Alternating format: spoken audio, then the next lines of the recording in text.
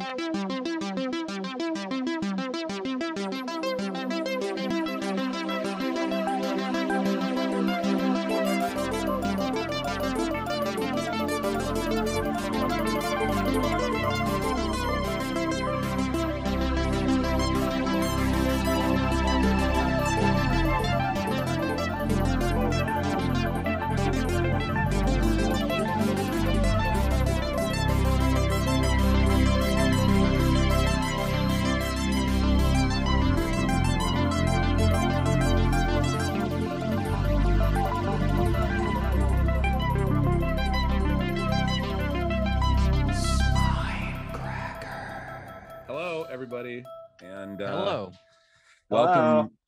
To Spine Crackers, the official uh, 47th ranked book podcast in Sweden, and that's official today. Take it to the bank. That's right. Yay.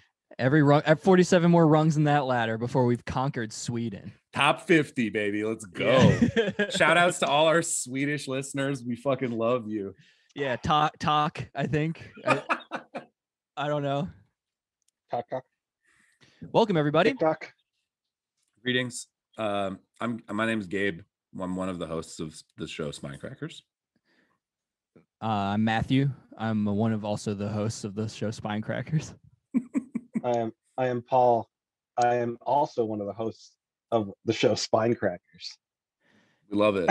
We love together- hosts and we love what's happening. And together we comprise Spine Crackers, the show you're currently listening to. Especially if you're in Sweden, form- most likely. Oh Yeah. yeah. Uh, a long form book review podcast. Yeah, in deep dives, baby. That's what we, you Mm. know, sit. We Yeah. sit with it. We like to sit with it for a little while That's right. because we're uh, deep thinkers. Today, Gabriel, kick us off. This is Yeah, uh, yeah. So today we're reading um, "To the Friend Who Did Not Save My Life" by uh, Hervé uh, Guibert. Uh, Nice. That's nice. our French listeners. Uh, probably that was better than the alienated all of you. rehearsals. yeah yeah um so this is, was my pick um and therefore i've got to talk about it a little bit and introduce it um it's i, I you know i don't really have a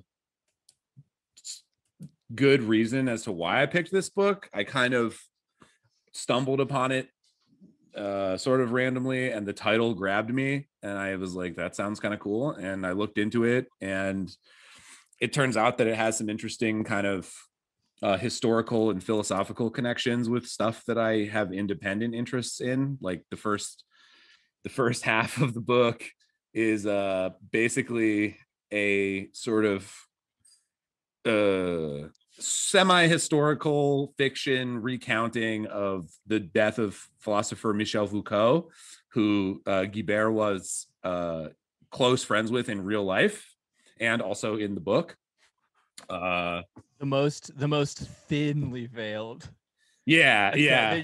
like so it's just it's just he changes his name and I don't even, which is just like, exact bi- biographical information like that could him instantly just said. yeah, I don't even know why he bothered to change the name because it's like so obviously. Maybe that's something we should talk about because it's such an, you know, the the the lines between fiction and like au- and biography and autobiography in this book are like sort of non-existent. Yeah.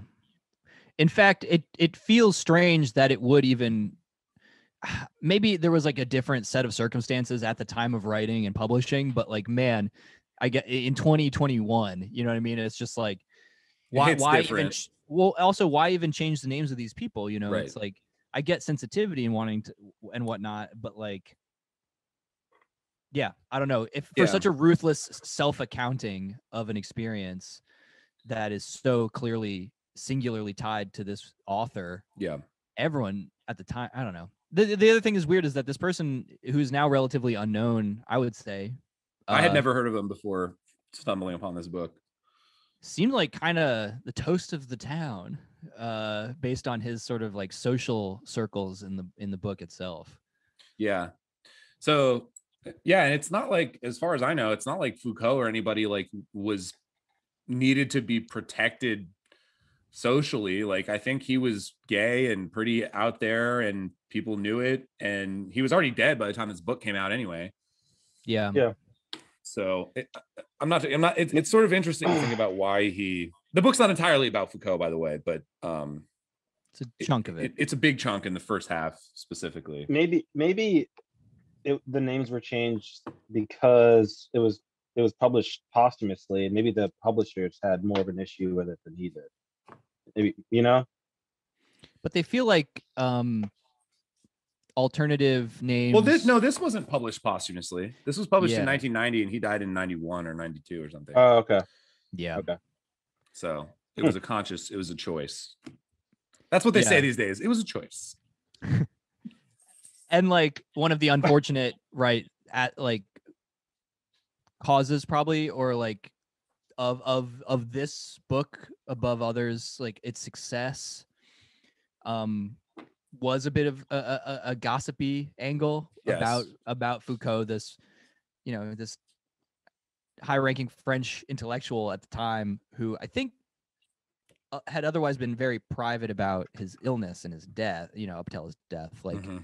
and I think people were just kind of like hungry, hungry to know the the deets essentially. Yeah, right? that yeah, that's true. And I mean, and, and that comes through in the book too. Even in the book, he's described as being very kind of like not in denial, but very kind of like not upfront with anybody about the illness or sort of like trying to make light of it in certain ways, which we can talk about. So the book basically is is an is an an account of um, a narrator who is named uh, Guibert and uh, is basically an account of his um, diagnosis and struggle with AIDS um, in the mid to late 80s. And um, his kind of coming to grips with what was at the time a like just full on relatively short term death sentence. Um, right. which is it had you know has changed in various ways today it's still a obviously serious disease um but the the medicine and i mean the medicine around it is just in a completely different place than it was then but and him sort of both trying to cope with it and the sort of the mundanity of the day to day of having the disease and the doctor's appointments and the this and the that while there also being another big big plot surrounding a sort of potential vaccine slash like experimental treatment that he wants to um, get via one of his friends who happens to work in um, the pharmaceutical business. Um, and that's basically what the book is about right. That's the friend. that's that is the friend yeah, so Yes. uh, the title is a little bit of a spoiler he does not obviously get he does not survive aids no but he doesn't die by aids either Well, in real life, so Guibert in real life, you know, had uh, had AIDS and and was dying of it, and he, he got to the point where some of the the you know side effects. I think he like went blind basically Yes. from from some uh, you know side effect of the disease, and ultimately tried to kill himself, and it failed originally, but then he died shortly after from complications from the attempt. So sort of a, a, a dark ending to to his life. and he and he i mean he talks pretty like openly and coldly and matter of factly about contemplating suicide and and really like seriously giving it thought as an avenue uh in the book itself too. He's just like yeah so i got two options like you know I'll kind of like like heroically struggle through this thing and and that's the wrong way to phrase it. I'll i'll die through illness related complications uh, and i'm totally also considering just like i don't know where he got keyed into the the essentially like painkiller or barbiturate or something that would uh kill him but yeah it, it it became like kind of the thing he was seemed to be more clearly leaning towards doing by the end the the ending it's not, it's not like and then i died you know it's not the right. it's not like that kind of ending like it's it's kind of a again strange in that way where it's just the ruthlessly autobiographical yet um guised account of his experience over like the better part of seven or eight years. Mhm. Yep. Well, I, d- I did want to say that this is probably our first book that's pretty much like creative nonfiction. I, d- I- I would like I to think know that's probably a good exactly, term for it. I would like to know exactly like what was fictionalized in the writing, but it just seems more like we're reading a guy's actual journal entries over the course of, you know, six or seven years. Um, and even the ending, it doesn't really point to like he's about to die from the illness. It's it's more like he's just rapidly fading away. So if there's truth in like the last entry too, you know. Yeah, I mean, I But think the that, book. i- Oh, No, sorry. I was just gonna say the book. The book is written in like a series of like one page to I don't know. I think the most is what like seven pages per chapter. But that, yeah, like seven or eight pages. I think is the longest. so there's like there's gone. something like 80 chapters in the whole thing, and it. I think it's a flat it's usually right? Oh, is it really? Oh yeah. Um, but yeah, it just kind of flies by in that way. It's like every chapter is like one or two pages that is just a different experience, and it kind of goes back and forth from like talking about the morbidity of just how he's thinking to, you know, the next chapter will be just like an interaction he's having with his friend or something, or one of his friends. It's it's not it's not uh chronological. That's the other thing that was at least confusing to me. I found myself being like, oh, we're we're in 87 and now we're in 83 and blah blah blah. And I think he's giving more um of an instinctive accounting of like the of of uh of narrative here where it's just like in hindsight now he's like regarding these kind of things as more important or less important because I think he I don't know how much distance he had from Foucault's death, or or I don't know when he began the actual writing of this book itself. I, I don't really know, but you do jump around in time and get more of this like chronology of what was psychologically important and seemed to matter to him as being told in in a certain order rather than just Mhm. time. Yeah, it's very Yeah, like it's very like impressionistic in that way. It's very sort of like what you know what is what is making itself relevant to me either in retrospect or in the current moment or whatever Right. uh, as I'm writing these these chapters or these entries or whatever. this dude was famous, man. That was like that was the first thing I noticed. I was like, we're, we're getting the account of prob like the equivalent of some sort of celebrity socialite in Paris in the 80s. Like Yeah. he kept he kept talking about all his thinly veiled celebrity friends and actors and Foucault and stuff. And it's just like he's he's jet setting off to like the set of an Akira Kurosawa movie. He's like an extra in uh, Under the Volcano. Like I think he what I goes mean? to the Oscars, doesn't he? At one point. Yeah, he goes to the Oscars with a woman who uh, was ducking him after like agreeing to be in a movie he was writing. He like I read somewhere that that was supposed to be uh that that was a real actress too that that was supposed to write. I think it was Isabelle Yeah. Adjani. Yeah, I think that's right. Uh is that how you say it? I don't know how I, it. I, I don't know. But you but yeah. but so yeah, like uh, I think maybe he was most famous at the time as for as a photographer. Yep. Uh, um so he's he's kind of like all over the arts and and just really plugged into like the intelligentsia of Paris and he he's kind of a jet setter. He's he just stays all over Europe and knows all these like weird people. Like like we said he even knows like doctors on the bleeding edge of like AIDS research and and and pharmaceutical innovation and stuff which ends up kind of being a negative but who could have guessed that you know? Like Yeah, Yeah. I think, a- a- and uh, yeah, I think it's really interesting that that's the sort of picture that we get. I mean, it was a, also a, like you say, the reality. Guibert was famous and involved in art, and you know, like just new, rich, famous people.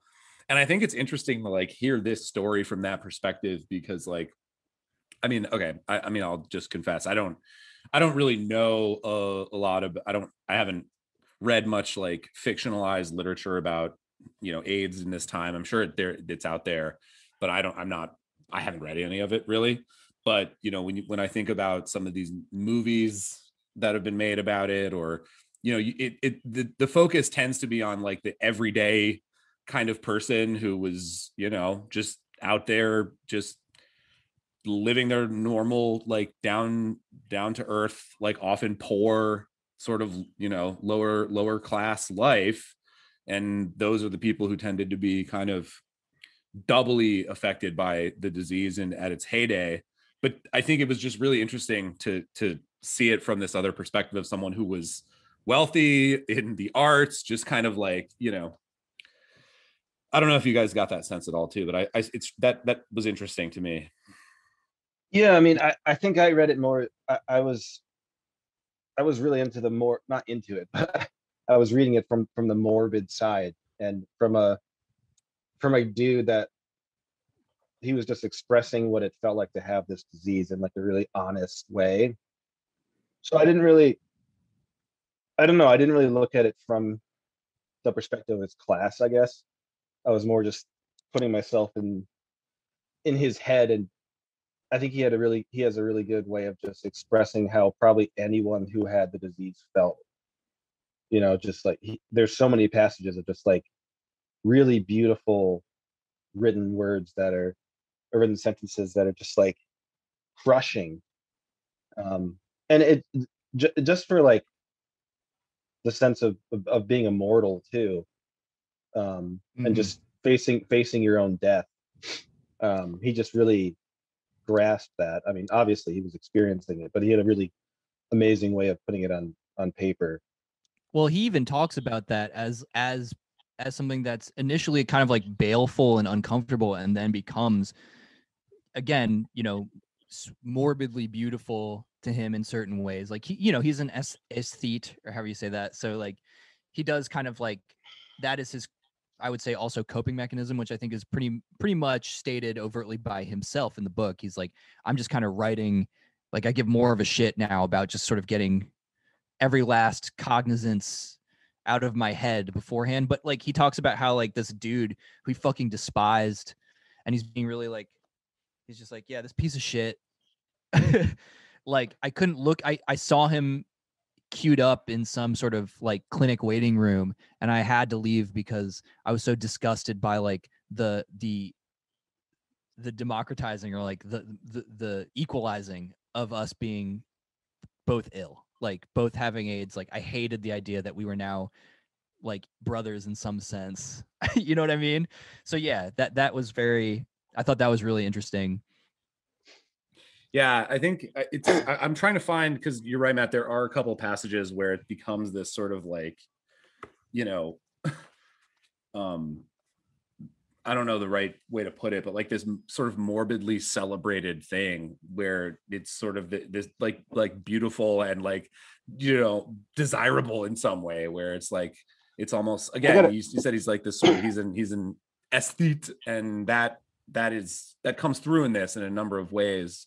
And i think i, I like you said i think it's sort of a coping mechanism and like the book you know the last chapter we, we not to whatever spoilers this is if you've ever listened to this I mean- podcast have we ever not? Yeah. But you know he frames it the first line of the last chapter is my book is closing in on me. Not Yeah. not the disease not like you know anything else. And he, he him that's a sort of like subplot of him trying to finish these this book that he's working on. And that's what he feels sort of most oppressed by and i think that sort of framing the whole discussion with him working on a work of art is interesting in and of itself. I think that's a relatable action probably for someone who's facing death is like a healthy way to go about it is like to distract yourself by doing a project of some kind. And even to the point of getting oppressed by your project is probably a maybe not a better way of coping but it is a coping mechanism i would say do you think uh do you think that just the french literary tradition also helps in that in some way with like de Sade and and uh bataille and all these kind of people like he is um guibert is kind of considered to be someone influenced and and take them taking the mantle of those kinds of thinkers and writers I- think that I, I can totally see that in the in a- a few ways in this book. I mean, certainly the sort of like, you know, there's there's obviously French literature has a sort of reputation for like just existential morbidity and despair in general. um but specifically those those two that you mentioned Bataille and um you know specifically like interested in the body and you know like violence and kind of sort of uh explicit descriptions of of bodily functions and acts and stuff. And that is absolutely in here but well, you just you know, you've got like Le Petit mort, like being such a fucking like clear idea that controls all of that kind of right all those people. You know what I mean? Just like yes sexuality and death, kind of just intermingling and becoming somewhat indistinguishable. Is I saw I saw a hilarious tweet the other day. I think I re I think I retweeted it, and it was just it was just the French call death the big cum. death is the fat nut? but that's move- but that is actually France, that's actually kind of what's going on here in some ways. Hey man, listen, sex and death, the only two things worth writing about. Get that coffee, people. So, we are dangerously close to that though. Damn it. it's Um, all right. yeah but but but yes anyway yes because i mean it's not you know it's not like uh i don't know i think it's the book i think walks a really fine line between graphic and clinical and it does it in a really kind of subtle way where you you you get these vivid graphic descriptions of various sorts of symptoms and physical manifestations of the disease and stuff but you also get the sort of just like like numbing mundanity of the doctor's appointments and going to the clinic and filling out this or that paperwork and like those i feel like those coexist in the book in equal measure and it's a really sort of positive interplay Yeah, I mean, for for someone like my my I know Matt and Gabe know, but my mom died like a year and a couple months ago, and I was you know I was reminded of that a lot because I was constantly in the hospital experiencing what she was going through and interacting with nurses and doctors.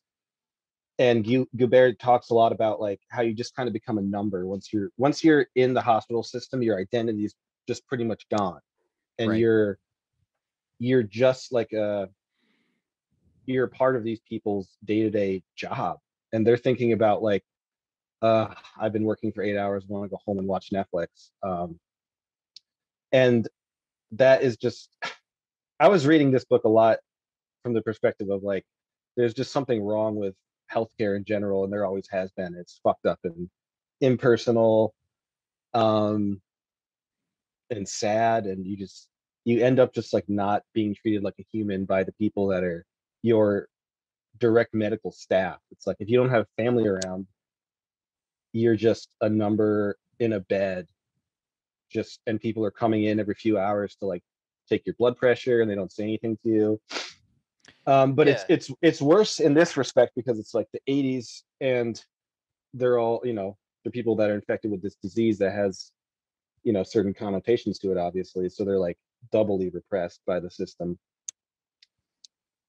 It was sad. And- yeah you can tell there's a lot of because we're dealing again like gabe said with with somebody with a higher profile socially um you get this weird element of keeping your name out of the press and dan- dancing around specifics and um lying and all that kind of stuff like it's just like not something the the random like junkie is going to be fuck all concerned with. You know what I mean? It's just like, but you know, when you're talking about people like M- Michel Foucault and uh, these other artists, uh, yeah, there's just added element of like, let's like be delicate about this. There's a whole, there's a whole cultural, socio fucking political uh, uh, connotation that comes crashing in with all of this.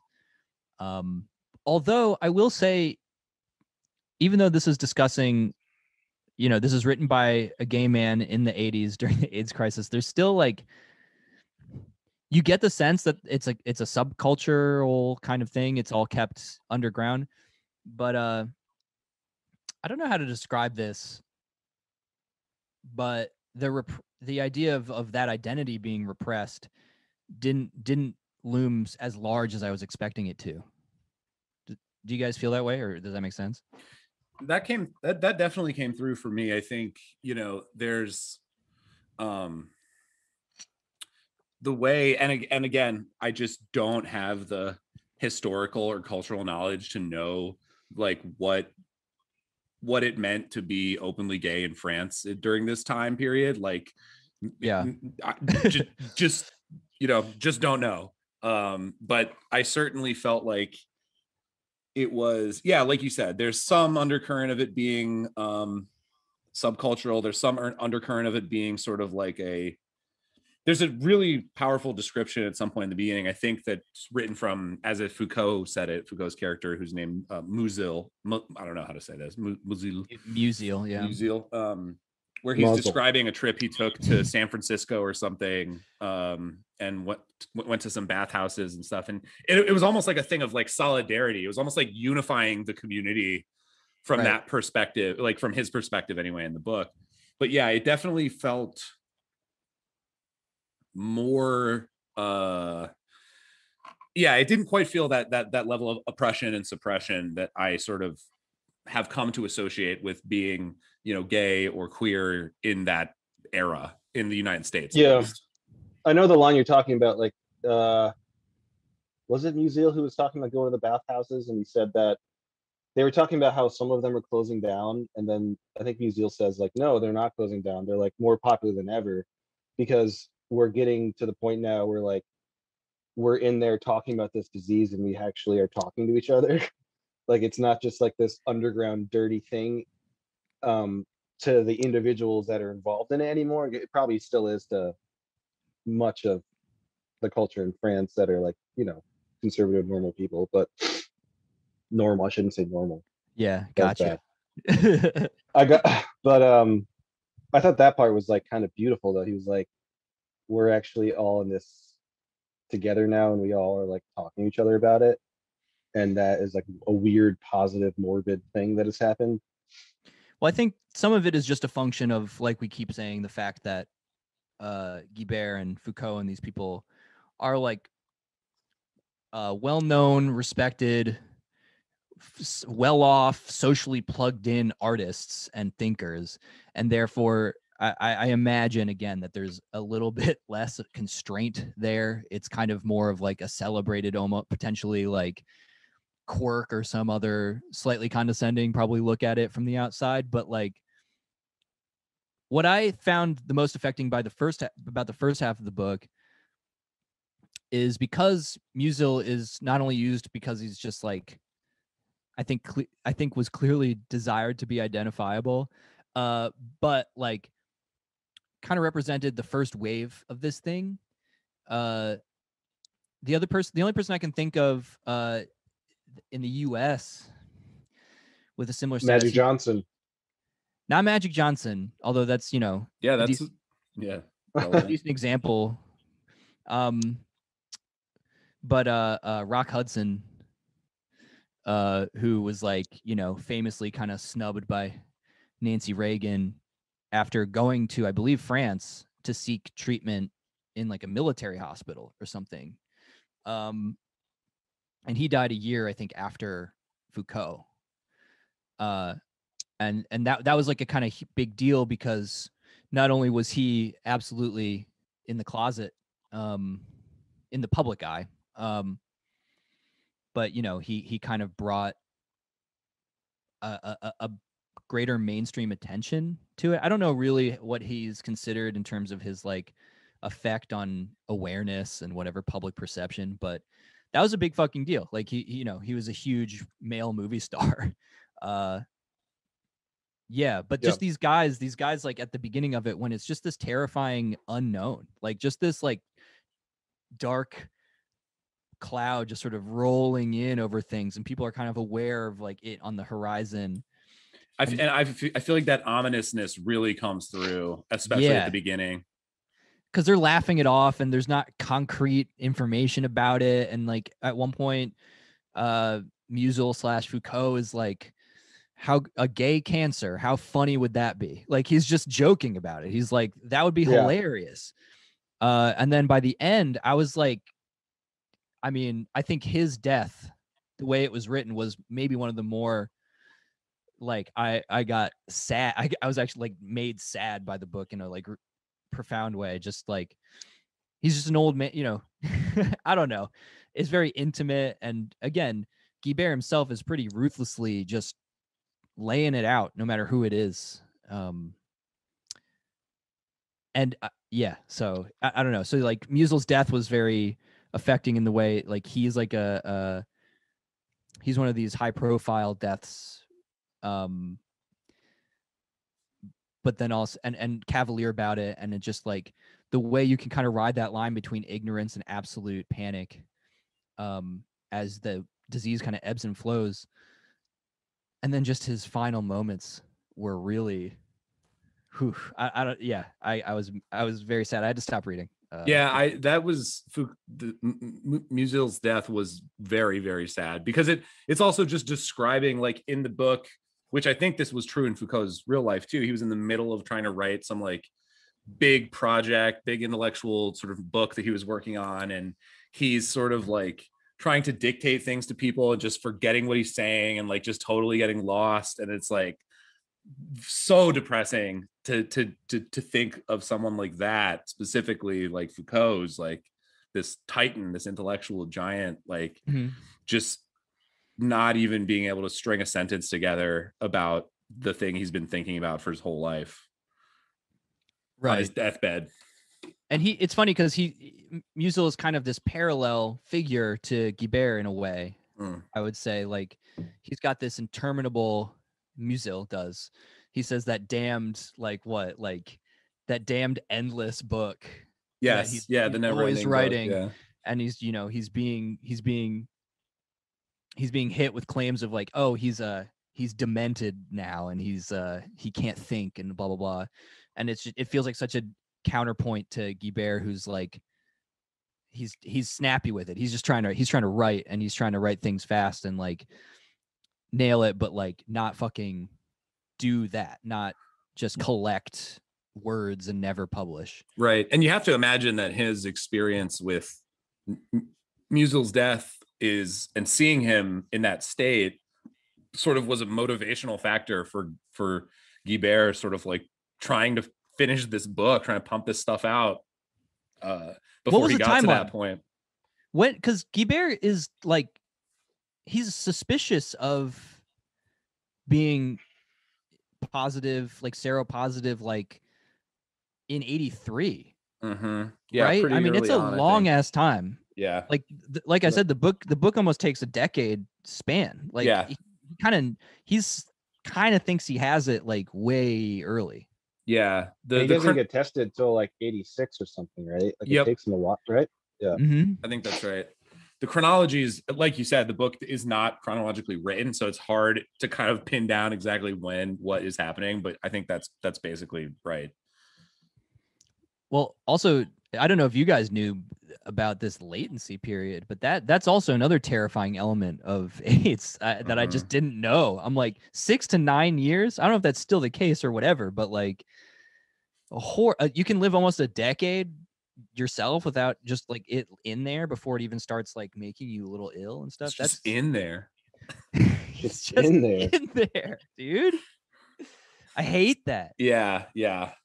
Uh, there, there were definitely I definitely learned some things reading this book. And again, I don't know what the state of it is these days. I mean, I, I know a little bit about it, but not I'm not a you know an expert. You can basically, I mean, these days you can take like, I think just one pill a day. And I think you can live forever. Mhm. I mean, there, there are like, there are like, uh, there Get are AIDS, really bad side immortal. effects. There are certain things like from the pills that you can, like you can still develop like cancers and stuff, I think from the pills, but they're late in your life.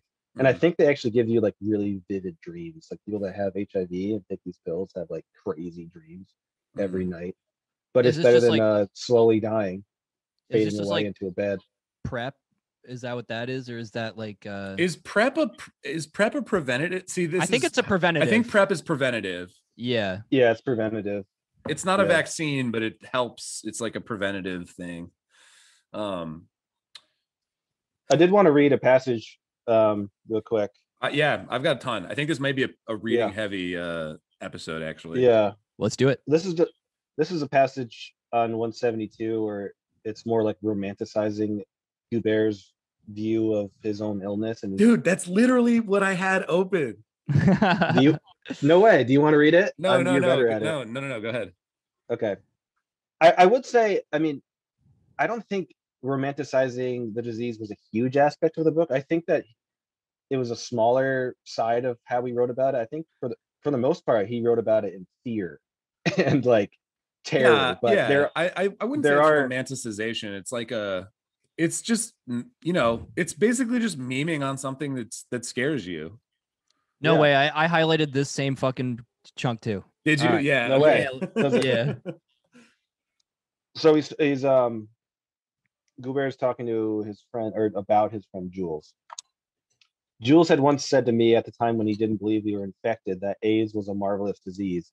It is true that I was discovering something sleek and dazzling in its hideousness, for though it was certainly an ine- inexor- inexorable illness, it was it wasn't immediately catastrophic. It was an illness in stages, a very long flight of steps that led assuredly to death but whose every step represented a unique apprenticeship. It was a it was a disease that gave death time to live and its victims time to die, time to discover time, and in the end to discover life.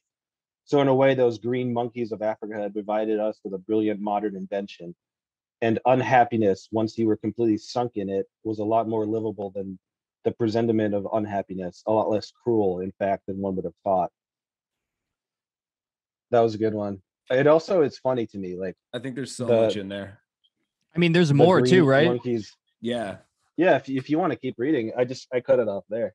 Yeah, I just want to uh, just say, uh, Do it, man. if li- if life was nothing but the presentiment of death and the constant torture of wondering when the axe would fall, then AIDS, by setting an official limit to your lifespan, six years of seropositivity plus two years with AZT, which was an experimental drug at the time, uh, in the best of cases, or a few months without it, made us men who were fully conscious of our lives and freed us from our ignorance. So yeah, just like um, you know, I, I think a disease that or I, disease, I think uh, an idea that's actually like unifying in, in other illnesses as well. You know, just this kind of you get you get a you get a, a hard deadline essentially, Yep. and it clarifies a lot of shit. I think that AZT drug, I'm not sure, but I think it was like a a, uh cancer drug, right? I'm not, I, I'm not sure. I'm not sure either, but I, I think it's sort of like a chemo drug that, that they took that was like too harsh for most cancers, but Hmm. was like the best they could do at that time. So it's sort of it's like a pain reducer almost. It's well, I think it's just like, a cell killer. Like che- Okay. chemo just like kills like all cells, and Right. hopefully you survive it. Right. Um, Yeah, and there was like it was like you took that and can you ha- you couldn't be under a like 200 T cell count Right. or it was like too dangerous because you'd have nothing.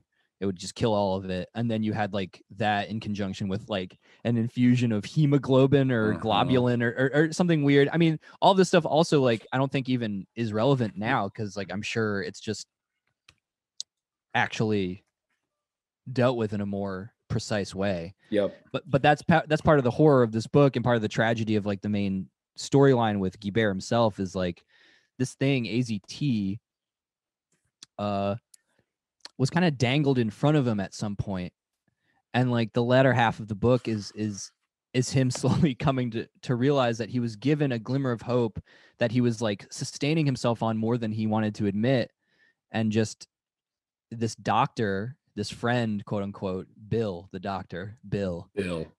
American significantly, I would say. Uh is just somebody who keeps ducking him after he just makes all these fabulous promises and then just uh completely ducks him and eventually it just becomes clear that like AZT is just fucking snake oil. Like, you know, there's a there's a doctor attached to it who I forget uh I think invented uh polio vaccine. It's supposed to be the the the the fictional analog of the polio vaccine. I forget his name.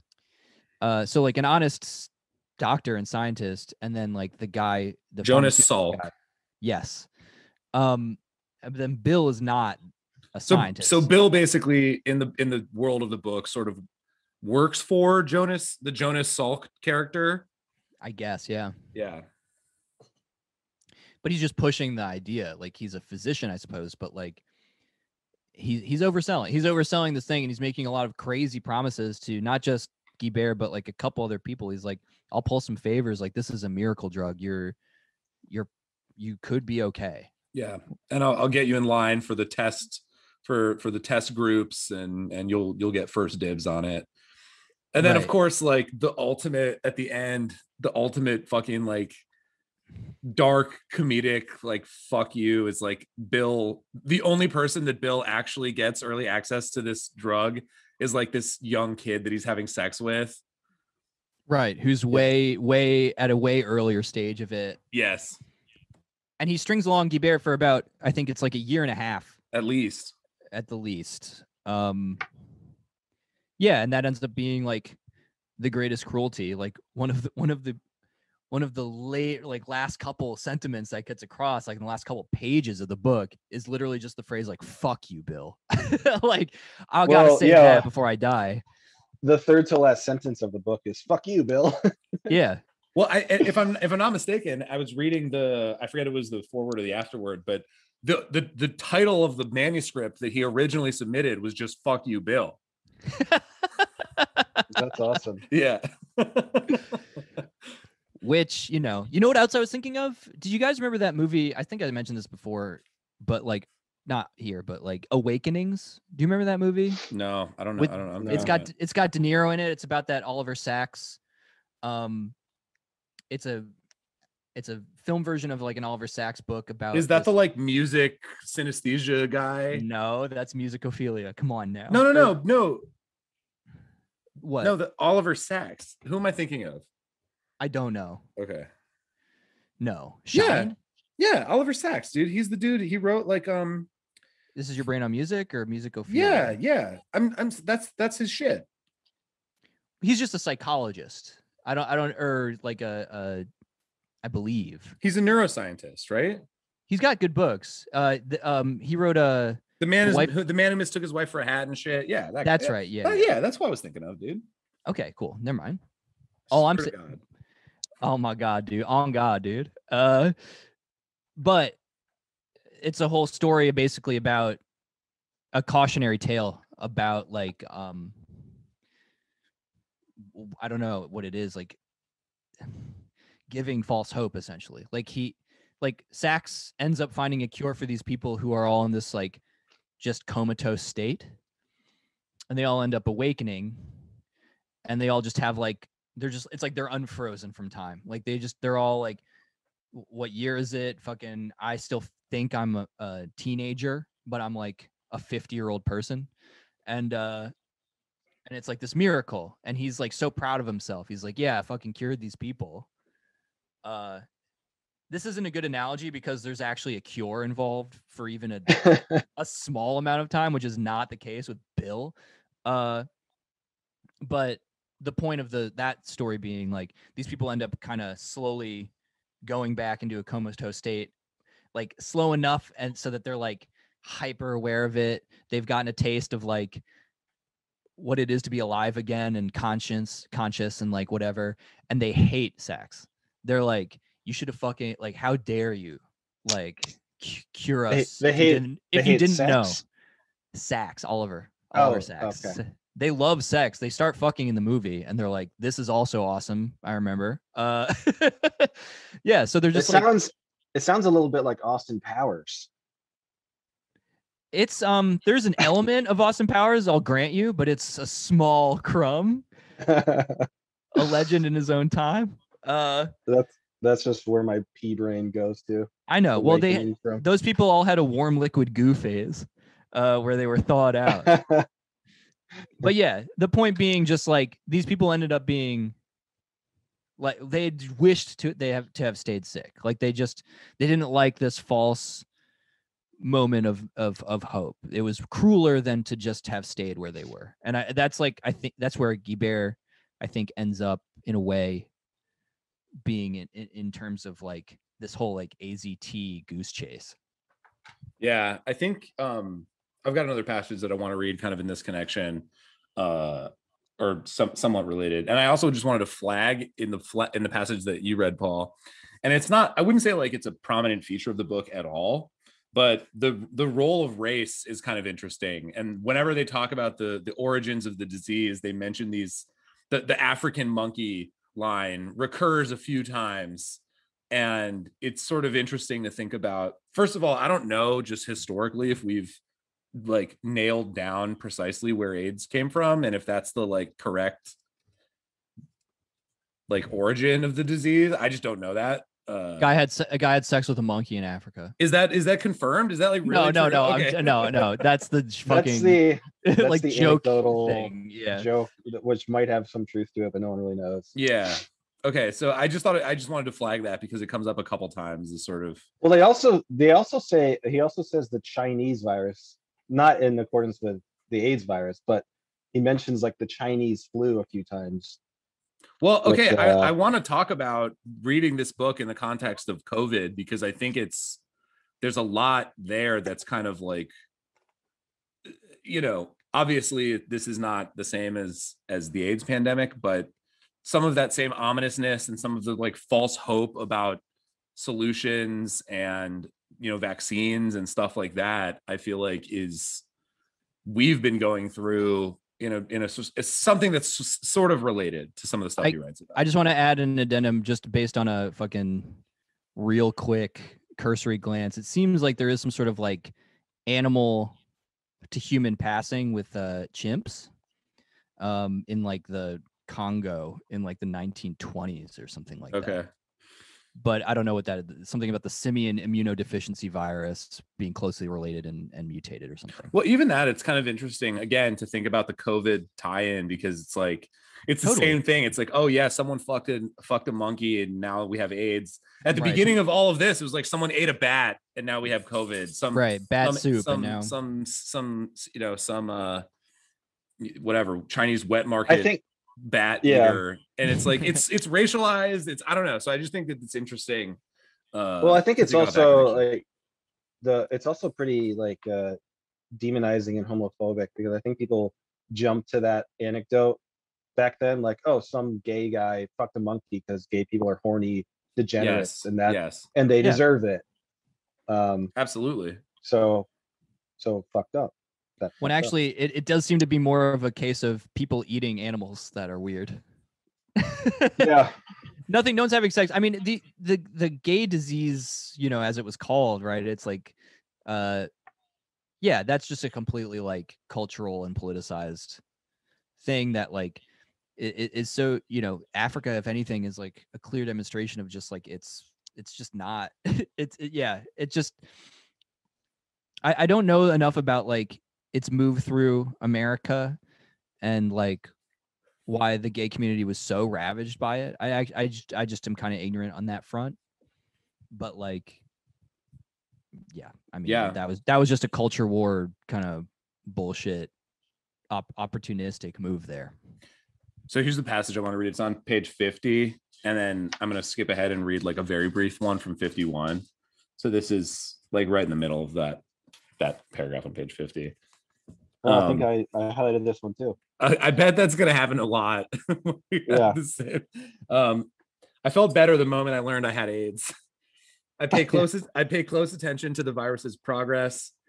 Um, I feel as though I know by heart the map of its colonizations, its assaults and retreats. I think I know where it's lying in wait and where it's on the advance. I believe I can feel the areas that are still untouched, but the struggle inside me, and this one is organically quite real, the scientific tests are conclusive, is nothing for the moment, but just wait compared to the undoubtedly imaginary ailments that torment me. And then there's a I'm skipping ahead to the next page just because I think it kind of flows from that that claim. And he's talking about Bill. I sat down by his desk and I said to him, Yes, I remember perfectly. This is exactly what I said to him in 1981, shortly before Bill was to mention for the first time the existence of this phenomenon that already bound us all together without our knowing it. Muzil, Marine, and so many others. Quote, I'll kiss the hands of the person who will tell me I'm doomed. And I just Oh, think yeah, that that's that's just like so like fuck. Yeah. Very French, Yes. very French and existential. And I just think just- that yeah, go ahead, Matt. Well, I was just gonna say it's it's that it's that great that weird gratefulness you feel for Mhm. someone pinning down a more diffuse kind of of pain and dread, you know, which is does end up being hugely mental, which any it's not even hypochondriac. It's just like it's that fucking shit where you just you feel bad for some reason and then you start thinking and you and your mind just runs on overdrive. And I mean, it's the it, yeah. it's the same kind of like this is a this is a dumb like obviously not as serious. Not okay, it's not dumb, but it's not as a, serious as an example. But that's the kind of stuff that's like what you hear. I remember. I remember. You guys remember when cutting was a big thing back in back like when we were in school. high school.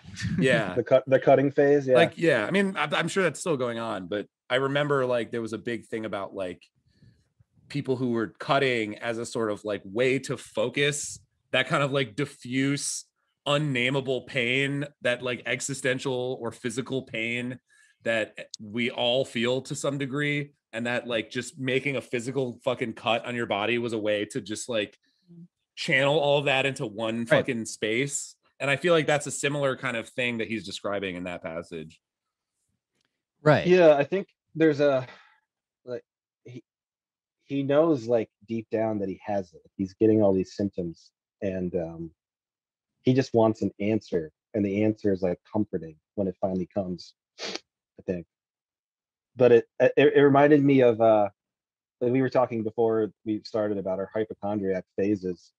And Yeah. I remember we were we were all all three of us at certain points just like I definitely have cancer. I have a pain in my shoulder. It's shoulder cancer. Like I, I, I used to go to the doctor all the time. I mean, I ended up having really bad things wrong with me, but um, none of them were like ex- cancer or anything, lymphoma or anything. But I almost yeah. like, You go I top shelf had- when you're like online. You go, you pick from the top shelf of diseases. You're like, okay, this is an episode of Doctor House, basically. When I'm thinking about my own personal issues. exactly. But I, there were certain times too where I'd be like, I'm gonna go to the doctor and they're gonna tell me I have cancer and I can't. I just want them to say it because I know something's wrong. Tell me I have stomach cancer right now. It'll feel so good. But yeah, but that's fucking so true. That's like a dark truth. Like I really think that's Yeah. actually like something that is important to take away is like you know, when you're in psychological pain, which is the vast majority of it um I mean obviously not when you're in like the extreme throes of a terminal illness, then it's physical, but like uh Yeah. even even if it's not I mean this applies to things that aren't even necessarily physical ailments, like just like bad relationships, bad fucking work environment. It's shit like, you know, like Like you want some, very you want some destruction to happen, or maybe. Uh, no, you you you want to you want to target.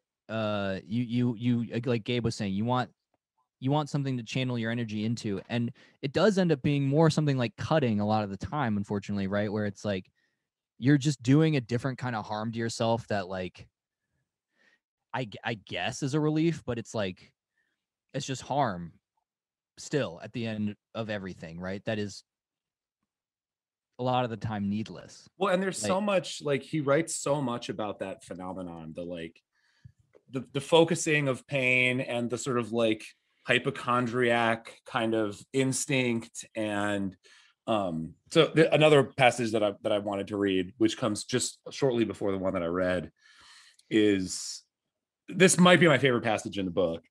This is on 46, one of them, it's up there. When he's talking about you know, he not when he finds out he has AIDS, but it's some other ailment that he finds out he has. It's like some kidney problem or something, or he's got like uh yeah, like renal, like basically like um what are they called when you piss out fucking rocks? Kidney stones? kidney stones. It's like something similar to kidney stones. um, so he says, as it happened, this investigation finally turned up something which both relieved and disappointed me because Dr. Nocourt announced that the problem was an extremely rare but completely benign phenomenon that he'd never encountered in his 30 years of practice. A renal malformation, probably congenital, a kind of pocket where crystals could accumulate, thus provoking that sharp pain in my right side, which the urologist believed could be eliminated by massive doses of sparkling water and lemon. But even before I could devote myself to a frenetic consumption of lemons, the twinge in my right side promptly disappeared. Now that I knew what was causing it, and for a very short period of time, I was left like an idiot without any pain at all. And I just thought that was just so like so descriptive of that feeling. Like that was so like yeah, you, when you when you Totally. it's almost like when you don't feel sick, when you don't feel like you're in pain, you feel stupid. You're like, what is like I'm missing something. totally. And I, I have like a anecdotal story about that. Like I, I got a lot of colonoscopies when I was in like my late twenties, and I was having a lot of stomach issues, and I had pain on my right side. And I did. I, I drank all the stuff, and I was in the hospital in the morning. And my doctor came over, and he's like, "What- "Does anywhere hurt?" And I was like, "It still hurts my right side." And he was like, "Well, when, when we're in there, we're gonna check for all these diseases." And he was like listing off all these kind of tame ones, and then he said, "We're gonna check for lymphoma." And it just terrified the shit out of me. I'm, I definitely have that. That's what I have Right. but I, I ended up waking up and he was like there's nothing we couldn't find anything he was like yawning he was like why are you even here um and my pain sure enough like instantly went away i just had no pain anymore um so That it was happened to- very that- psychological that happened to me basically this week. I mean, I think I think we should talk about. I mean, we can obviously we can come back. We got we got we got all night, baby. I got nowhere to be. But There's no time limit. the the sort of I- I think you're right, Paul, to keep returning to this um, question of the way this book portrays the medical and pharmaceutical industries, because I think that's like a really really big part of the book, and it's very uh, uh, it's as unflinching as anything else. I'll, I'll put it that way.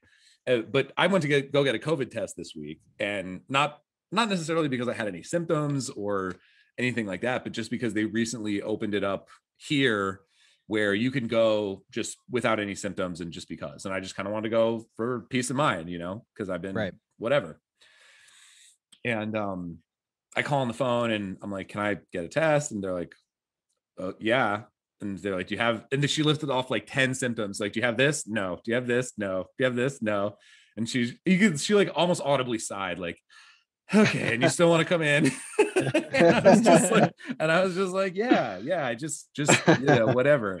And of course it took 30 seconds. I'm negative and all that. So, it, but it's that, that sort of like detached, like, why are you here? You're bugging me. I have better things to do like a- a- weird attitude in the medical profession which Yeah. of course of course in many cases just a flat i just of course in many cases they do genuinely have better things to do and there are genuinely people who need it more than some you know like comparatively healthy hypochondriac you know 30 young 30s white guy I just mean I, I just wanted to counter with I kind of like that uh on uh, not every time, but a lot of the time. I, I like the just administrative cavalier attitude. Like it in some way fucking comforts me because like again, anecdotally, these are all such lame situation. But like I was also panicking about our pain. I- analogies are terrible in the face of this book well, it's not an analogy. It's uh no i know uh, i'm just saying like yes, yes, certainly. just Whereas- acknowledging that we're not drawing comparisons between any of these examples and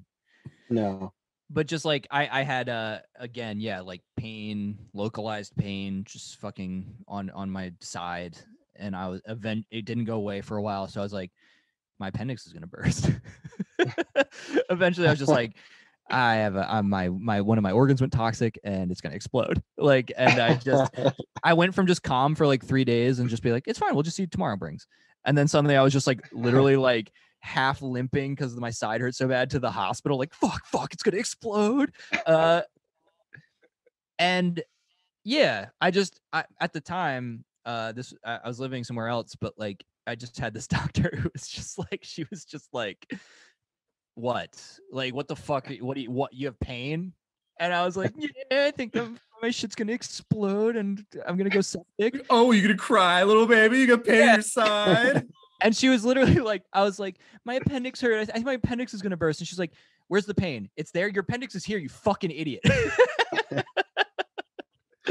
and she was like what do you have And a she- diaper on let me see your fucking diaper man yeah.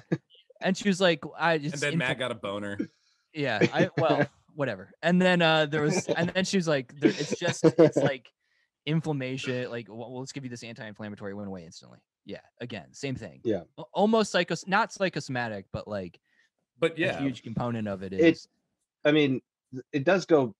I, I do understand what you're saying. Like, you sometimes you want just like a doctor who's like dismissive of you, but I've had a few instances where I've like something was definitely wrong, and I've gone to the ER yeah. and had all these tests, and then the doctor's like too dismissive. It makes me kind of think that I want AI to be a real thing, and I want all doctors to be nice robots with AI personalities. Are like, oh, are you okay? This could be something serious. You are a Very- smart man. Like, Very scary, but statistically better at catching Yeah, shit. But right. I mean, I don't know how I feel about it. I wanted I don't know either. I Well, wanted 'cause to, yeah, go ahead, Paul. Or I'm just uh, like Guibert, like I, I just wanted to like emphasize what you're saying. Like he he does a good job of kind of running the gamut of types of medical experiences or like experiences with medical professionals because there's like the cranks who are like one says like he has like dysmorphophobia or something insane where it's like fear of illnesses that are will make you look weird or something like that and uh and then he has like hyper dismissive people and then he's and then like i think the big saving grace in terms of like medical professionals is dr chandi yes. uh who is like another figure that's pretty large in the book Yeah, Chandi is sort of his personal physician who is also also kind of gets grifted by Bill uh in the end. that's end. Guibert's take on it i don't Yeah, know how right. true that is but yeah it seems like it That's how it's presented. Um I think that I think real quick, I just want to say that I think that does bring in the uh the little bit of class elements throughout.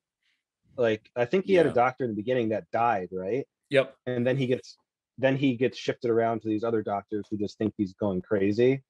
And I think he finds Chandi who's like more receptive of his status, I would say. I think wasn't was he friends with uh Foucault, that doctor? Or was he That might be how they get connect. I forget how they get connected originally. but I, I'm I think my point is just that like because I think it was because of his status in his class that he was able to find a doctor who was more supportive. Yeah. Of what where he was where he was going and his illnesses, which I don't think is true for probably the majority of people that were Not not. at in all. Yeah, his- no, his yeah, absolutely status. not. Absolutely not. Um, so I wanted to read this passage just because it reminded me. I'm thinking of the the farm, sort of pharmaceutical industry and some of the, the ways this book overlaps with that. And I just thought it was really funny. It was it's just a funny passage because it it captures so well a reaction that I have all the time when I'm just watching commercials for various medications. oh the side Um, effects Yeah, that's, yeah, you know exactly what I'm talking Yeah, about. yeah, the yeah, side effects passage. It's so fucking funny. So this is um on 211 and uh and uh, Matt this also sort of overlaps with the the the the Thomas Bernhard conversations which we you can bring, you know, jump into whenever. I will. so, yeah, no I know. Um on February 10th I picked up my capsules of AZT from the Hôpital Rothschild pharmacy and hid them under my coat when I left because some dealers on the sidewalk looked as though they'd like to steal them from me for their African pals. Again, there's always this weird like the African stuff is just dropped in kind of seemingly randomly, but I wonder if there's more to it I than think that. I think I, I just I think in I'm the way saying, that you it- know, yeah. well I think the in the way that there's like a little bit of a Middle Eastern preoccupation now in yes. France uh, a lot of African immigrants was like more the issue back then I think maybe I Yes. And I mean it's also still true today that that you know, people black people specifically are more affected by AIDS than any other Yeah. population, I think, right? yes Um, but as of today, March 20th, as I finish getting this book into shape, I still haven't touched a single capsule of AZT. Each patient can read on the label the list of quote unquote more or less irritating symptoms this medication can cause nausea, vomiting, loss of appetite, headache, skin rash, stomach ache, muscular pain, tingling sensation in the extremities, insomnia, intense fatigue, drowsiness, diarrhea, dizziness, sweating, shortness of breath, indigestion, taste disorders, chest pains, coughing, mental sluggishness, anxiety, frequent need to urinate, depression, aching, hives, itching, flu like symptoms, genital dysfunction, disintegration of the sensory faculties, impotence. and I'm just like, I, that's like my exact feeling whenever I see this, like, see a, a- commercial for a, a medication where it's like in the last half of a second of the commercial, they squeeze in like 50 awful sounding side effects. It's like, it's like, it'll be like a medication for depression. Uh, You know, it's like some antidepressant and it's like may cause suicidal ideation. Yeah. Like, yeah. well it's like it's like the it's like Happy Fun Ball from SNL Yes. It's like yeah, to bring up another thing that's just like yeah, happy fun ball may cause death. Death is the last one basically. So yeah i think I, I- Yeah. I, think he has a lot to say about about the and, and again the fact that the title character bill the friend is this pharmaceutical exec this like slimy um sort of shifty pharmaceutical executive is a is a to me a politically significant point that he's making. Yeah, he's driving. He's an American uh, who's like got a a condo, like a he- like a cool condo in like a, a high rise in Miami. He's driving around in the a Jag. red, in a red Jaguar, uh, just constantly. You know, I mean, again, this is out of. I guess I, as much as I don't want to because of the sentiments about Bill that this book instilled in me, like I don't know who this person is. It's obviously somebody who is real, I would say at this point. Like there's nobody who doesn't have some sort of like real life analog or is not just sort of renamed lightly. Uh but yeah, the way the book presents it, Bill is an absolute fucking monster. Like it just turns out that he's some sort of like power tripping megalomaniac who is also, you know, he's gay himself and he, he's seemingly uh like also just kind of like tangling AIDS medication as bait to fuck like people, uh, It's like terrible. other people. it's so like so dark. Yeah, so it's it's yeah, it's pretty dark. Yeah.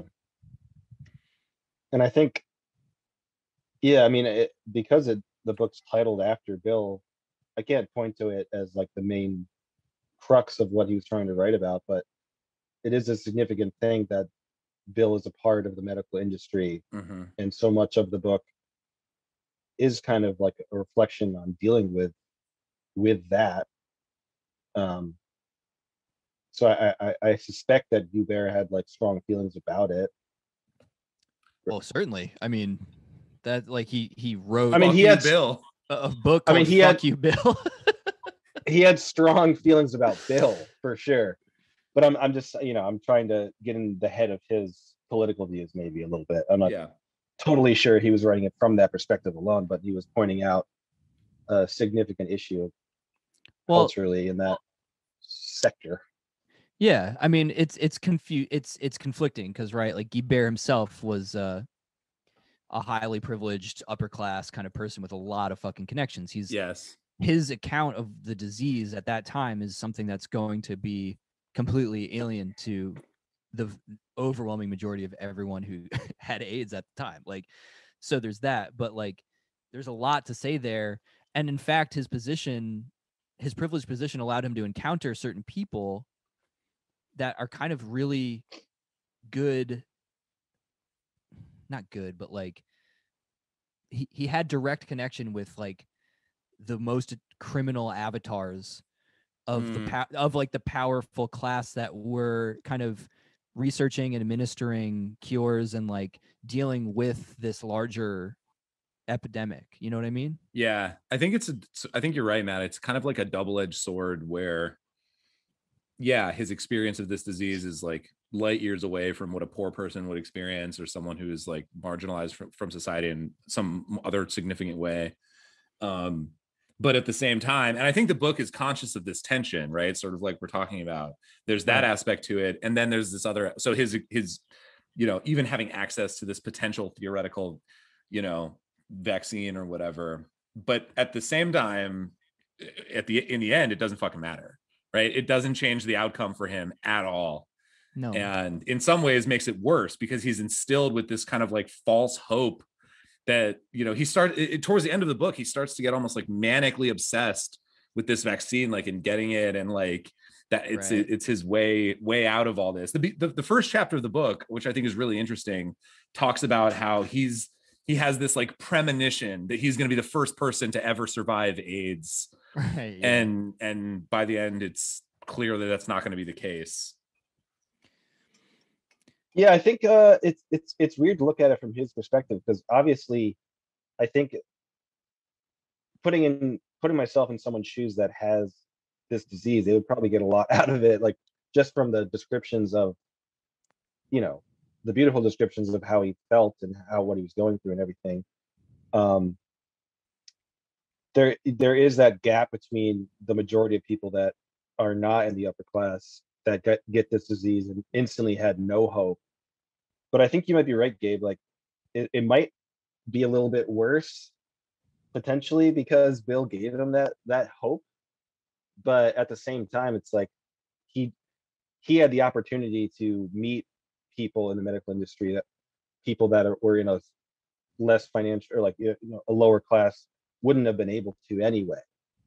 To So be he did clear, ha- I'd he w- rather be rich and have the a thwarted opportunity for a vaccine than just yeah, be like Well- basically home, like you know, like Yeah, on the street well, with AIDS and not have health insurance. or he anything. also he also just that. had the opportunity to like live in Rome and just kind of wallow in, with his disease with his friends, like lay on rocks naked and think about his life. You know, yes, he i'm not i'm not saying in any way that that's it's it's a complicated thing it's like if i had the disease and i was had the opportunity to just like travel to rome and live with it yeah i would definitely do that so i wouldn't say he's privileged though because it still sucks he's still Can, dying can I just read, or, Matt? What, did- what were you say? I, I was just gonna say, you know, I, I get why it's tough to talk about like his relative privilege when he's has AIDS, but like Right. uh I think one of the important other things about the book that makes it um good is uh Guibert himself is not afraid to just he's he's laying it all on the line. So like he's talking about the ways he's a monster too. Like he's not he's not this like ama- saintly figure going through this while everyone else is taking advantage of him and stringing him along. You know, he's- yes. he is an utter he you know he's a very attractive man who was clearly living this like charmed life for a long time and like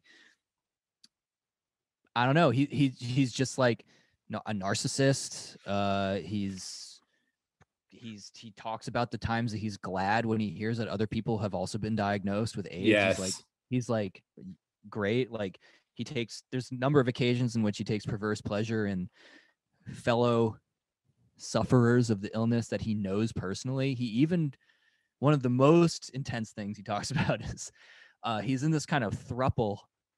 I yeah, I was gonna say we we need to talk about this. he's in this uh, relationship with a family. He is, uh, I mean, all right, look, clarify. It's uh it's a husband and wife, but the husband is bi or gay and and has a cover wife or whatever, something like that. Uh, but they're all having sex with each other. Yeah, a beard. Yeah, it's not. Uh, It's not. It's she knows about it. Like she's not in the. Yeah. Yeah. Jewel, Jules and Bertha. Berthe. Uh and and Jules Jules seems to travel around a lot. He he he he he's fucking uh, often. Uh and then they fuck each other and you know, I think they have sex with Berthe as well, but like you know, they're they're a fam they're ostensibly or not ostensibly, but like, you know, their outward appearance is is one of a husband and wife and two kids. And uh at one point Guibert is talking about uh him and Jules at this point are kind of like co-spiraling down. They both have AIDS. Uh they're both in the like coping portion of reckoning with it. They've kind of been strung along with this uh cure and Jules' kid gets sick. And the entire time they've been like are my kids sick? Cuz again, not sure of the mechanisms of the disease or whatever. And and Guibert is like pretty much just straightforward like I love those kids and part of me was like it would be it would be incredibly in, in some level satisfying if those kids also had AIDS. Yes. Because it know, would. Because it would. He. Yeah. He talks about it as if there would be like this added layer of of. It's so fucked. eh, Or, Yeah. or what? Because it's this like the- almost like this added layer of him being their father or being part of the family, part of the family in a more intimate way. If it turned out that the kids had AIDS too.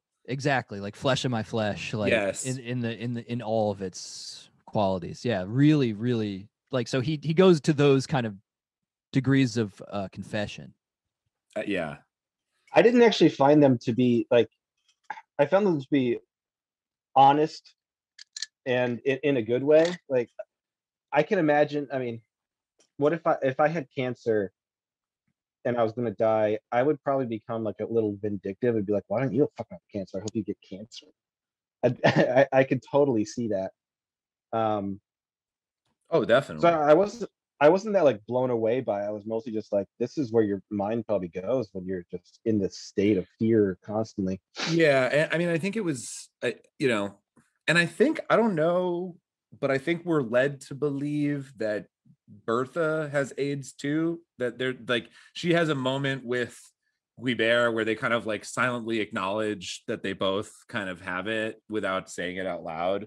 Um, so Yeah, she's that- like she she had like a coughing fit, right, for months and months, and they Yeah. kind of suspected. But then Guibert and, and Jules basically like don't want to even bring it up to her to like Right. as a way of like protecting her. they never talk. But, I don't think they ever talk about it with her explicitly. Yeah. but there's but th- he does describe a moment where they are, are sort of like silently acknowledging it i feel like so it's sort of implied that she has it also and then like just chronologically it's implied that like either they've all been having sex long enough that it would have transmitted to the kids potentially or either through their birth directly or through breast milk or something like that so Yeah. but it also i mean to get to get back to matt's point that he was just making like it's or or like you were saying paul like that is some to some degree where you know you can see how your mind would go to a place like that uh and you and you think of you know there was that that big um story i don't know when this happened exactly but i think i want to say it was the 90s um where that guy found out he had aids and like just went onto a playground and started stabbing kids with a needle of his blood Yeah. Yeah. and that's kind of what that passage made me think of or that section where he's thinking about the kids getting it Yeah, definitely. Yeah, it's some sort of like Um, covenant or something. I didn't I can't find it. I've been looking for it, but there's a passage where Jules and Guibert like know they have it together. And um it's like a sex scene, but it's like really freaking sad. Yeah. I hope one of us can find it because that's worth reading. I mean, For whatever reason, I didn't highlight it, but I just I know I I know what you're talking about. Like, uh, and Jules in particular is described as someone who like kind of needs physical affection to be affirmed as a person and like. feel- oh yeah. There's a great passage where he describes Jules as like someone who can't live without his his vanity and his beauty. And he just Yes. knows Jules is gonna like crumble faster than him because he can't handle being like skinny and unattractive to people. Right, insta disaster. Even if you're just Yeah. don't have, if you don't have AIDS, that's gonna be a disaster. And that, Yeah.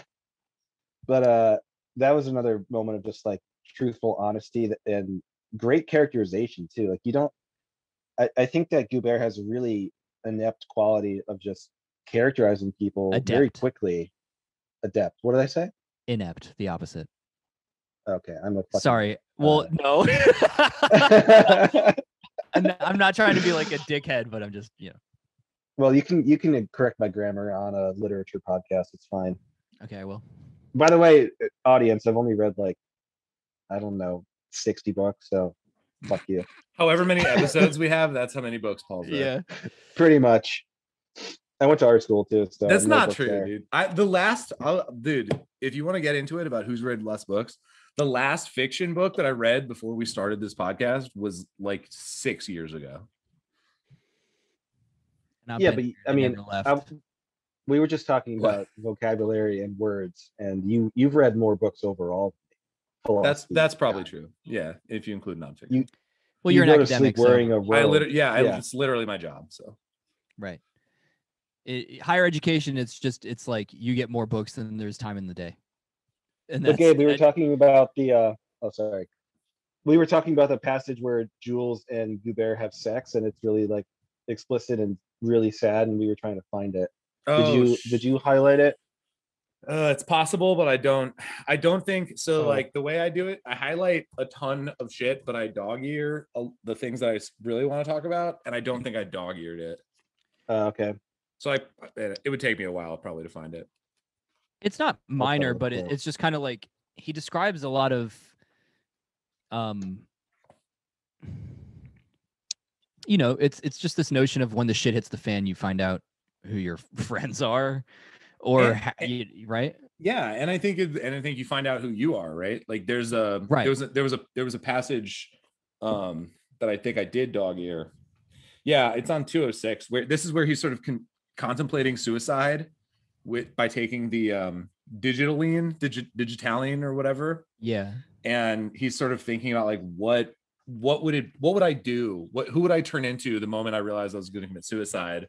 hmm And I feel like this is a really like again just confessional like da- like dark, beautiful passage. So he's he's talking about.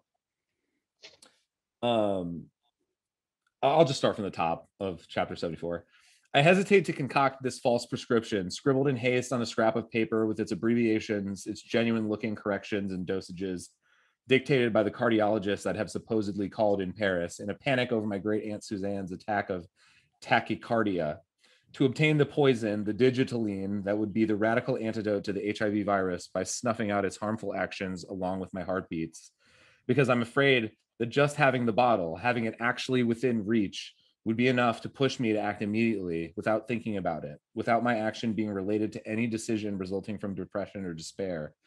I'd add those 70 drops to a glass of water and drink them down. And then what would I do? Would I stretch out? Uh, would I stretch out on the bed, disconnect the phone, play the play some music? What music? How long would it take before my heart stopped? What would I think about? Whom would I think about? Wouldn't I suddenly want to hear a voice, but whose? Wouldn't it be the voice, a voice I'd never have imagined wanting to hear at that moment? Would I want to masturbate until my blood stops dead, until my hand flies off my wrist? Have I just made a stupid mistake? Would I have been better off hanging myself? and I again, just that like the the the clarity that comes with some of this stuff, or the, the potential clarity. It's so matter of fact. Like the Yes. morbidity is just very matter of fact, but it's so relatable too. There's um, Um, th- there's this random thing from like I, I think it's like S- uh, Steppenwolf. I forget some Hermann Hesse thing where it's like the the guy keeps talking about how the recourse of the knife is a great comfort to allow him to suffer through like things that are really horrific. I that's that's what it feels like to me the digi- Digitalin. Although do does anyone know how Guibert tried to finally attempt suicide? I don't. I, I don't know for sure. I do. I think it may have been some type of drug, like some type of overdose thing, but I'm not Mhm. totally sure. folks don't take don't try an od if you're going to kill yourself gun to the head or um best best ver- i'm sorry no. you can run a car run a car is probably the best way to go asphyxiation is probably the best way to go A- attempted overdose of sleeping pills. ah yes No, the, the best way to kill yourself is like the end of It's a Wonderful Life and an angel comes and then you don't do it. There you go. Yeah. That's cor- thank oh you. right Because That's the only correct answer. an angel he'll give you, yeah, he'll give you a view of the world if you weren't there and it'd be a huge, awesome thing. And then the whole town will just give you money. don't do it if look at how happy people are when if you stick around and you're like oh right yeah yeah yeah no yeah no bet Yeah. i Yeah. What um, if he had AIDS though? What if he had AIDS? What have been a different story. Would have been a different movie. it's not a wonderful life the movie It's not a wonderful life. Oh god.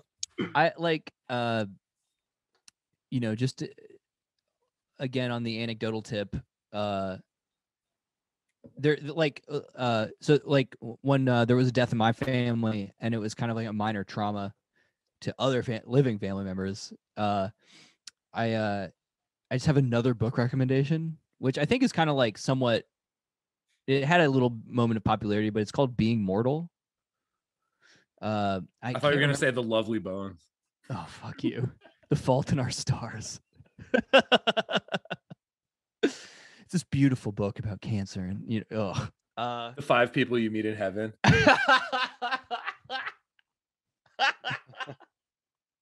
Damn, bringing it back. Uh fuck, I can't remember the name of this author. And if because if I Is it- say it, is it's it, gonna uh, be We'll, embarrassing. we'll we'll stall some time for you while you look it up. What do you think? look you- it up. what do you? Peterson, 12 years for like the final chapter. Isn't Jordan like- it's like- Peterson, the final chapter. the the the tw- the twelve rules for life you learn in heaven. oh. Okay, so I was right. A- Atul Gawande is the name of the author. But And he's what's a the doc- book called again? I'm sorry. It's called Being Mortal. Okay. I mean, I, I, I this was like a, a kind of popular book, but like, um, it was just about um over medicalization of death and uh like bedside manner and just kind of like are there alternative approaches to the sort of medical fields it it's basically this book that's like it's so against uh the kind of like Switzerland assisted suicide thing, which I find debatable uh or whatever. I'm not uh my my thoughts on suicide are are complicated and kind of keep changing, but like uh this book is is flirts with that where it's like look, Yes. people fucking die. Like the, the like life becomes unbearably painful until death for a lot of cases of of certain illnesses and whatnot. And it's like the medical profession's uh view on those things and approach is is fucked. Like a lot of the time it just kind of ex- extends pain instead of uh you know based on this like just kind of like constant think belief that there's always a cure around the corner or whatever Yes. which is the real like that's the uh, that seemed that's one of the real takeaways was just like this idea like no we need to drag out someone's life uh who is dying uh because there's there's not a way to conclusively say that a cure won't just like happen at well some and point. and and that's like the one of the big tragedies of this book towards the end where he's he's vacillating between what you're talking about suicide and still sort of clinging desperately to this hope that there's this magical vaccine or treatment that's going to come out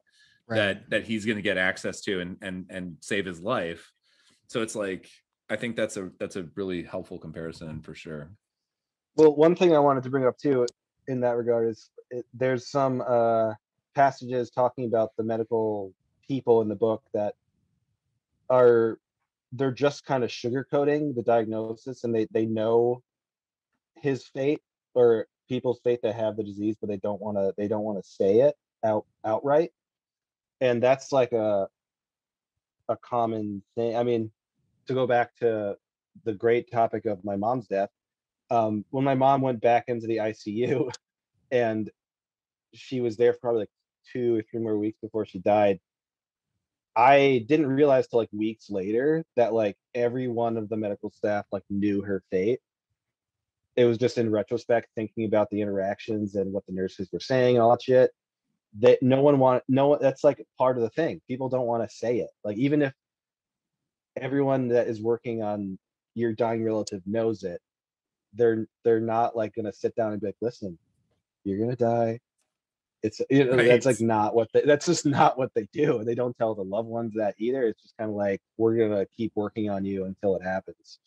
yeah, it's, uh, and that's that's best practices. You know, that's that's uh that's the recommended course of action. right and i Yeah. think matt this gets back to like what you were saying earlier this point about like kind of the comfort of the like just purely professional like detached Right, attitude of it all right? Because i think when you start talking about stuff like assisted suicide or any of these like really difficult topics all of a sudden these people who are completely detached in every other way get get very moralistic very fast right, they start talking about oh my god the, you know it's like you hip- just The Hippocratic forgot, oath you forgot my name yesterday and like almost prescribed me the wrong medication. And now you're all obsessed with the hippocratic oath about do no harm. So Yeah, you- there's I a- think there's you're a- right. there's a sort of dogma at at the root of it right? A kind of like if you cross this line everything collapses. Yeah. And it's it's made extra interesting by in this book by like i mean the complicating factor of of of it being something people don't understand. And so there really is this like plausible deniability that someone is is is going to die right? Like you you eh, there's some part of you if you're maybe a medical professional in this time i mean whatever but like of like I, I just don't know what the fuck this is. Like I, I can't tell you to your face like you're dead right. you know uh not to a degree that's gonna uh, that i'm gonna feel comfortable with. And so you you get like these charlatans like bill who are who are straight up lying about the like progress and and effectiveness of, of a particular treatment but you're getting the other side which is like we're early you know aids is going to really start ravaging people around the late 80s and you get an account of like the early 80s when it's starting to again the latency period and all this stuff it's there's very tough whispers right and uh so yeah i don't know and it again to just because not not just to make it a topical issue, but like the COVID thing, the COVID connection. It, Uh, Fuck me. it sounds like a conspiracy documentary. yeah. Uh, it is like I, I do remember like early on, right? The response was is I think we can all agree this response was bad. And uh the nature of the sickness itself kept changing in in sort of uh media accounts. And uh yeah, I, I, I was talking to my girlfriend about this recent earlier today actually. Like I don't think people have had to like just have this constant memento mori over them right. for, for this long, especially like an American population specifically. Oh You yeah, know, definitely. This book is French, but just like to have to just sit and meditate on illness for any length of time that's more than five seconds, Well, and now it- we've had like a year plus coming on. yeah and i think i think this I, I genuinely think that it's reading this book in this time is really like again it fucking hits different because Mhm. we've had that we've had that experience of this kind of like sort of false sort of real hope of a vaccine and you know however botched the response was i- i- i- initially it is also sort of to get to the other point we were kind of talking about kind of miraculous that we have any kind of a vaccine at all in such a short time period. Like that is genuinely kind of nuts. I you know i haven't gotten mine yet but but but like that it exists is kind of crazy. And just like you said just having to reckon with this thing on a on a mass level i mean i was watching my wife was watching today um the the last season of keeping up with the kardashians that just got released right. Late now, thread that needle. Thread the needle. I'm going to. And um, it's about it's you know starts out and and in the show it's sort of a reliving of those early days of COVID because that's when it was filmed. And you see them being like, "Oh yeah, we were going to go to Paris for this fashion show or whatever, but there's this talk of this weird new virus and we're not sure."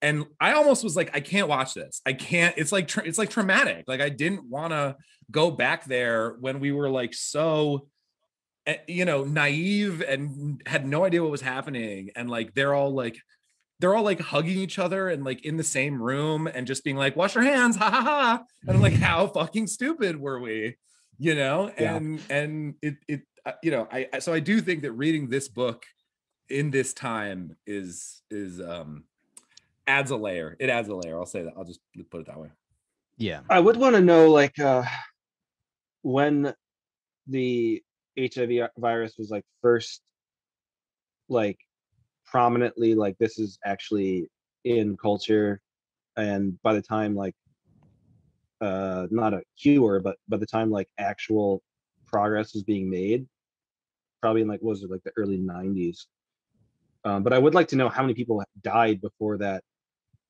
action happened Yeah. It was um, just because I, I think there's a, a- obviously an there's obviously an element of like this of like the homophobic element is like this is not a disease for the majority of the population like this is only affecting um this is a moral men. come up. So- so yeah and i think um that kind of thinking especially during those times definitely translated to like the call to action to try to fight it It- um which is it- obviously morally fucked up it had to have been it probably it uh, not had to have been but like i don't know again i think we're all sort of working with limited data on this but like yeah i, I know you know I, I think of reagan when i think of the person the figurehead of the time of aids uh and so therefore i think of his wife and i think of rock hudson and i think of probably like the early 80s uh mid 80s um, well, and it was and it was all sort of wrapped up in like moral moral majority discourse and you know but that's what I mean. metal music yeah Right, right, because she was very vocal about that bullshit, and you know, there was this whole thing with with Hudson where it's like, uh, we just don't think, you know, it was it was optics. It was like uh, we we, we don't we don't think we should um pull any strings for you particularly because we don't want to get involved in that. Uh, and they and they framed it as as like uh, a special favors kind of thing, but you know, you know, it's like we're not trying to help help y'all. so uh, yeah, Yeah. mid 80s maybe was when it was like like mainstream if that's not too fucked up a way to describe it like I, I I was just looking, and the the the what we now call sort of retroactively the first case was in 1981. It was a guy from San Francisco who went to the CDC with some like rare, you know, like rare condition, and obviously they didn't know it at the time. They didn't have a name for it at the time, but looking back, that they they now say he was he was the first diagnosed case of of, of HIV. I think it was, yeah, I think that doctor, his name was Jonathan AIDS, and he was the one that discovered it. It's named after him, right? oh man Uh, damn Yeah, it. i'll i'll take it though I'm I'll sorry, allow it. I'm I'll allow it. She's We gotta, It's like, I wish that was the most ah, damn. tame, that was the most tame AIDS joke I can think of, right? No, that was good. That was yeah, I'll allow it. Um, I had another Not passage I wanted to read about but- Bill. Sure. It's uh, I think it's a good sort of. It's about Bill, but it's also about Guibert himself, and again, sort of this like fatalist, like fuck it attitude. So anyway, this is on two thirteen. He says, driving me home in his Jaguar on the evening of January 28th, Bill made two edifying remarks. Quote, the Americans, they're big on proof, so they do endless experiments all over the place, while everywhere people are dropping like flies. End quote. And, quote, in any case, you couldn't have coped with growing old. uh, but I'd like Bill to knock Mockney. Mockney is the the vaccine guy who or the you know treatment guy who's developing this treatment. But I'd like Bill to knock Mockney out cold so he can steal his vaccine and bring it to me in the cooler of his little plane, the one he used to shuttle between Ouagadougou and Bobo Dioulasso. And I'd like him to crash the plane and the vaccine that he would that would have saved me into the Atlantic Ocean. I'm just like, uh, again, it's just it's so like petty and dark and personal and also just about his own sort of attitude to the whole thing like yeah bring it bring it to me bring me the vaccine but fucking crash it into the ocean. I don't even give a shit. Right and then destroy it. I i uh i just wanted to bring up this other thing. There's just this weird uh, extended bit about thomas bernhard uh who is for Yeah. whatever reason uh, a writer that Guy, Guibert as a writer regards as some sort of like weird uh dark version of himself like some sort of like like figure that he's com- fighting that he hates but reluctantly has to call a genius and i dark link water temple that's right. Yeah, Dark Link. Uh which is I, I found it interesting just because like it's it's you know, the disease is being dealt with artistically. Uh and this figure suddenly this this writer gets suddenly this weird shout out where he kind of has this like moment of of he kind of spazzes. And he does like a, a, a tirade against Bernhard in like I think the style of Bernhard uh, uh, uh after reading the book Perturbation. And like well I want to read his tirade but first of all I just I'm just curious what you guys think about like he's lit Bernhard is literally described as the literary version of AIDS in his bloodstream. I'm like, yes that's he- that's heavy. What is why do you think he's he's going that hard? it's it, i mean I'll, Bernhard. I'll just say I, it's hard for me to to analyze because i've actually never read any bernhard um so i know who he is and i have a couple of his books i've just never read any of them um so it's hard for me to like really get a grip on on why he singles him out specifically for this for, like you said for this uh comparison but yeah he uh, i don't know. I don't know what he was what he was going for but i mean i do think it fits in with the sort of overall framing of the of of the the book as the both the process of dealing with aids and the process of dealing with trying to write another book you know? So it's like it's about dealing with this disease and also dealing with sort of artistic creation a- again going back to that last chapter where the first line is my book is closing in on me Right. and it, it so it seems appropriate that another literary figure enters into that conversation i i can't say much about specifically why it's bernhard Well, he comes fucking crashing in, and I, I just find it interesting Yes. because like it's the only kind of like influence anxiety you see, uh, in an otherwise, uh, you know, just sort of meditation on on the illness. So I just wanted to read this. Uh, it's a little long, but I think I can, I can go my way through it. So he says, "I hated this Thomas Bernhard. He was undeniably a much better writer than I was, and yet he was only a superficial scribbler, a dabbler, a chop logic filling up space, a purveyor of syllogistic truisms, a tubercular innocent, a waffling tergive- tergiversator, a diatribe babbler, a splitter of Salzburgian hairs, a blowhard who did everything better than everyone else, biking, writing books, hammering nails, playing the violin, singing, philosophizing, and hating nonstop, a misshapen bear ravaged by nervous ticks from always swiping at the same targets with his paw, with his big, heavy, stubborn Dutch bumpkin's paw.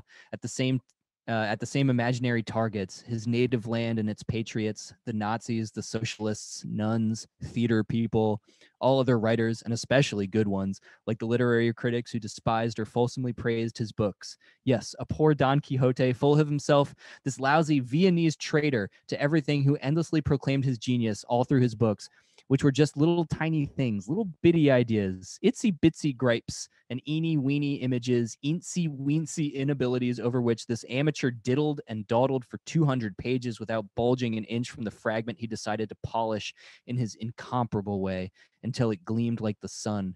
Or was totally eclipsed by the static on his lines, driving the reader out of his skull with his repetitions, his obsessive marching in place, twanging the reader's nerves. This is all one sentence.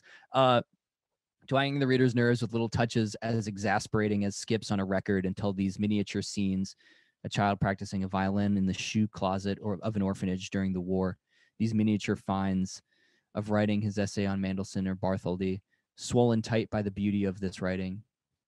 Uh, I had to admit it at some point or other during this diatribe became complete worlds unto themselves, perfect cosmogonies, while I, for my part, had imprudently challenged Grandmaster Thomas Bernhard to a blistering game of Blitzkrieg. That's a single sentence. I, I which is which is interesting because it's because it doesn't Bernhard write it- some in like that, that. same style, like in lo- long sort of single sentence fragments. yes, yeah, just constant uh, uh, Oxford comma. I think that's what it is. Yes, yes. Um, but yeah, just an outburst that doesn't isn't big in the big grand scheme of things, but just like loomed large to me. I was it's like, yeah, notable because it's so different than everything else in the book. It, it Yeah. you're you're right that Yeah. it really does come out of nowhere. and I don't know, and I, I think it has something to do with like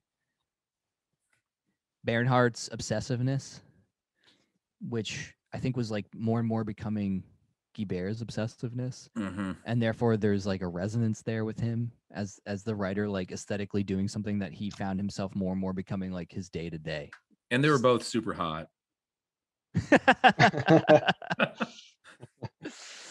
Maybe that's what it comes down to, just sheer jealousy.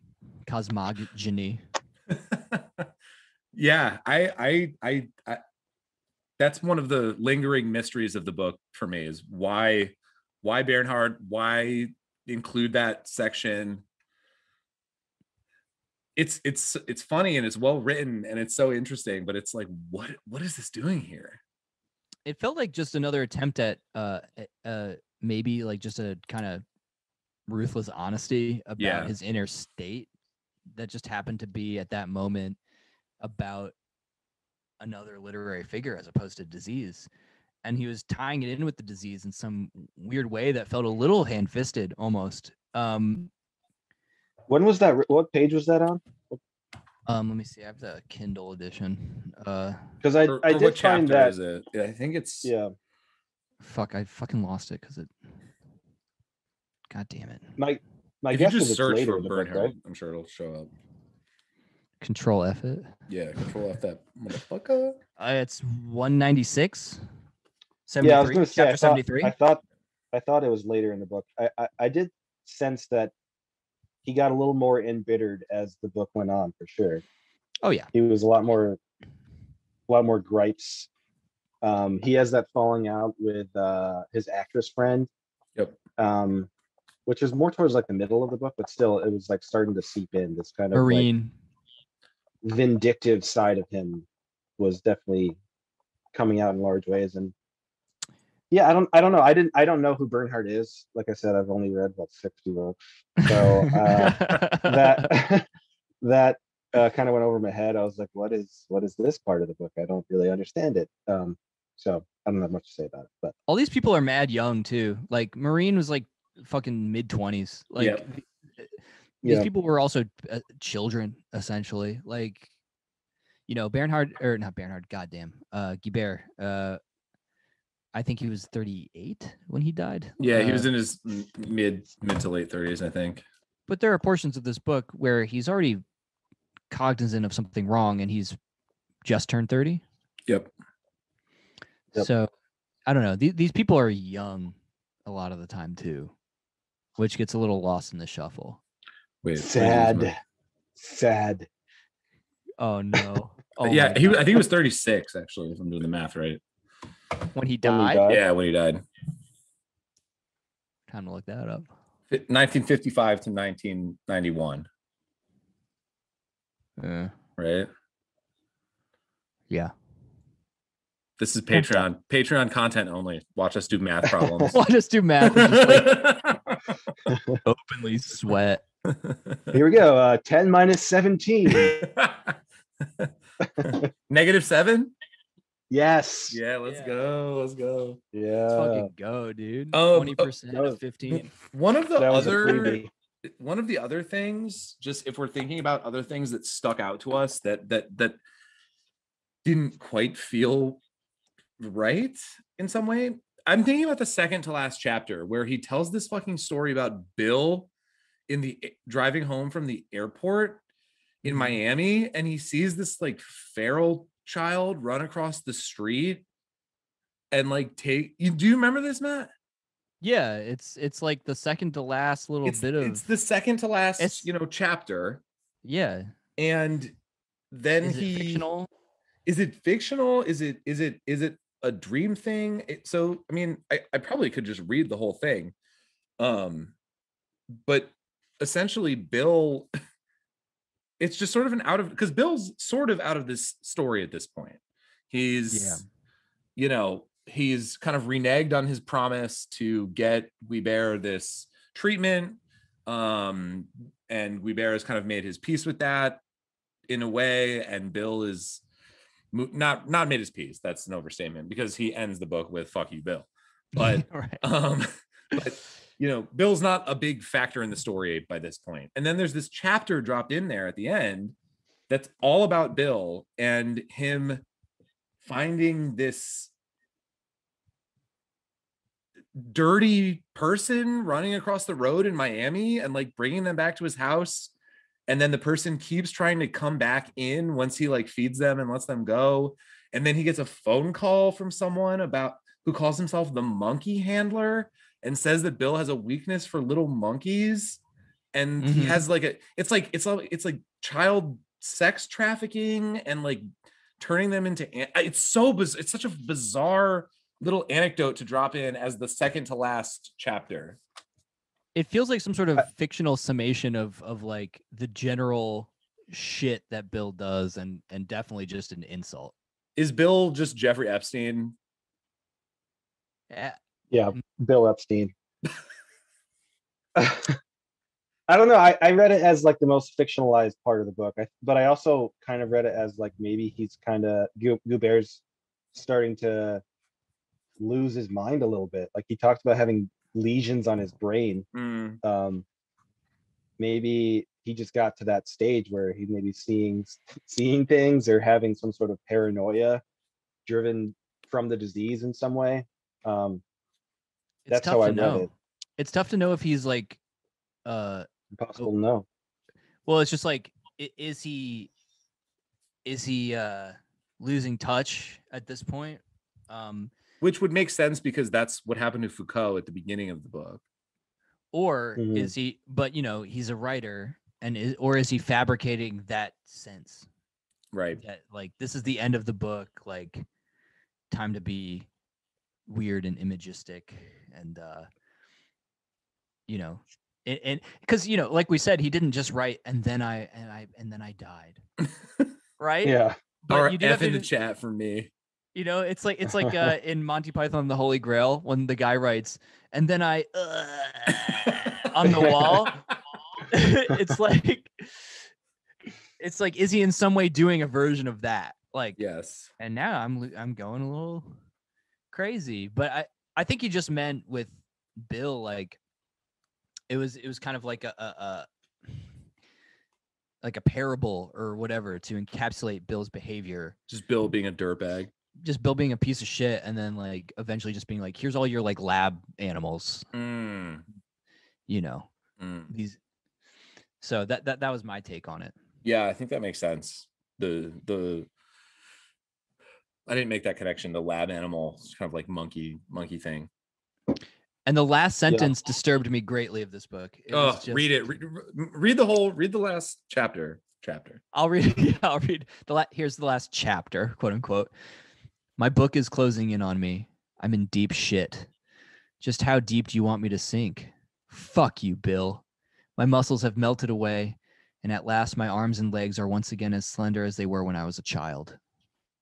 Just Ugh, like God. blah, blah, blah, blah. I, yeah. it's an icky way to think about life. Like you want to be a skinny child again. Uh, yuck. You're just going back to that state. I mean, they call old age second childhood. You know, Yep, it's, it's I think- Reversion. yeah. Um. Yeah. Yeah. I did find the uh, the passage where um, Guibert and Jules are having sex. Oh, I wanna read yeah, it. read it. Right. For all our c- coomers out there, let's read this one. oh, if, if you have any children in the car, um, Throw them out the window. throw them out the window. Um, when he got back from the eye doctor, Jules told me that it wasn't conjunctivitis he had, but a white film on the cornea, and that this must be one of the signs of AIDS. So he was afraid he was going to go blind. While I was completely freaked by his panic, unable to calm him down, and ready to fall apart right there.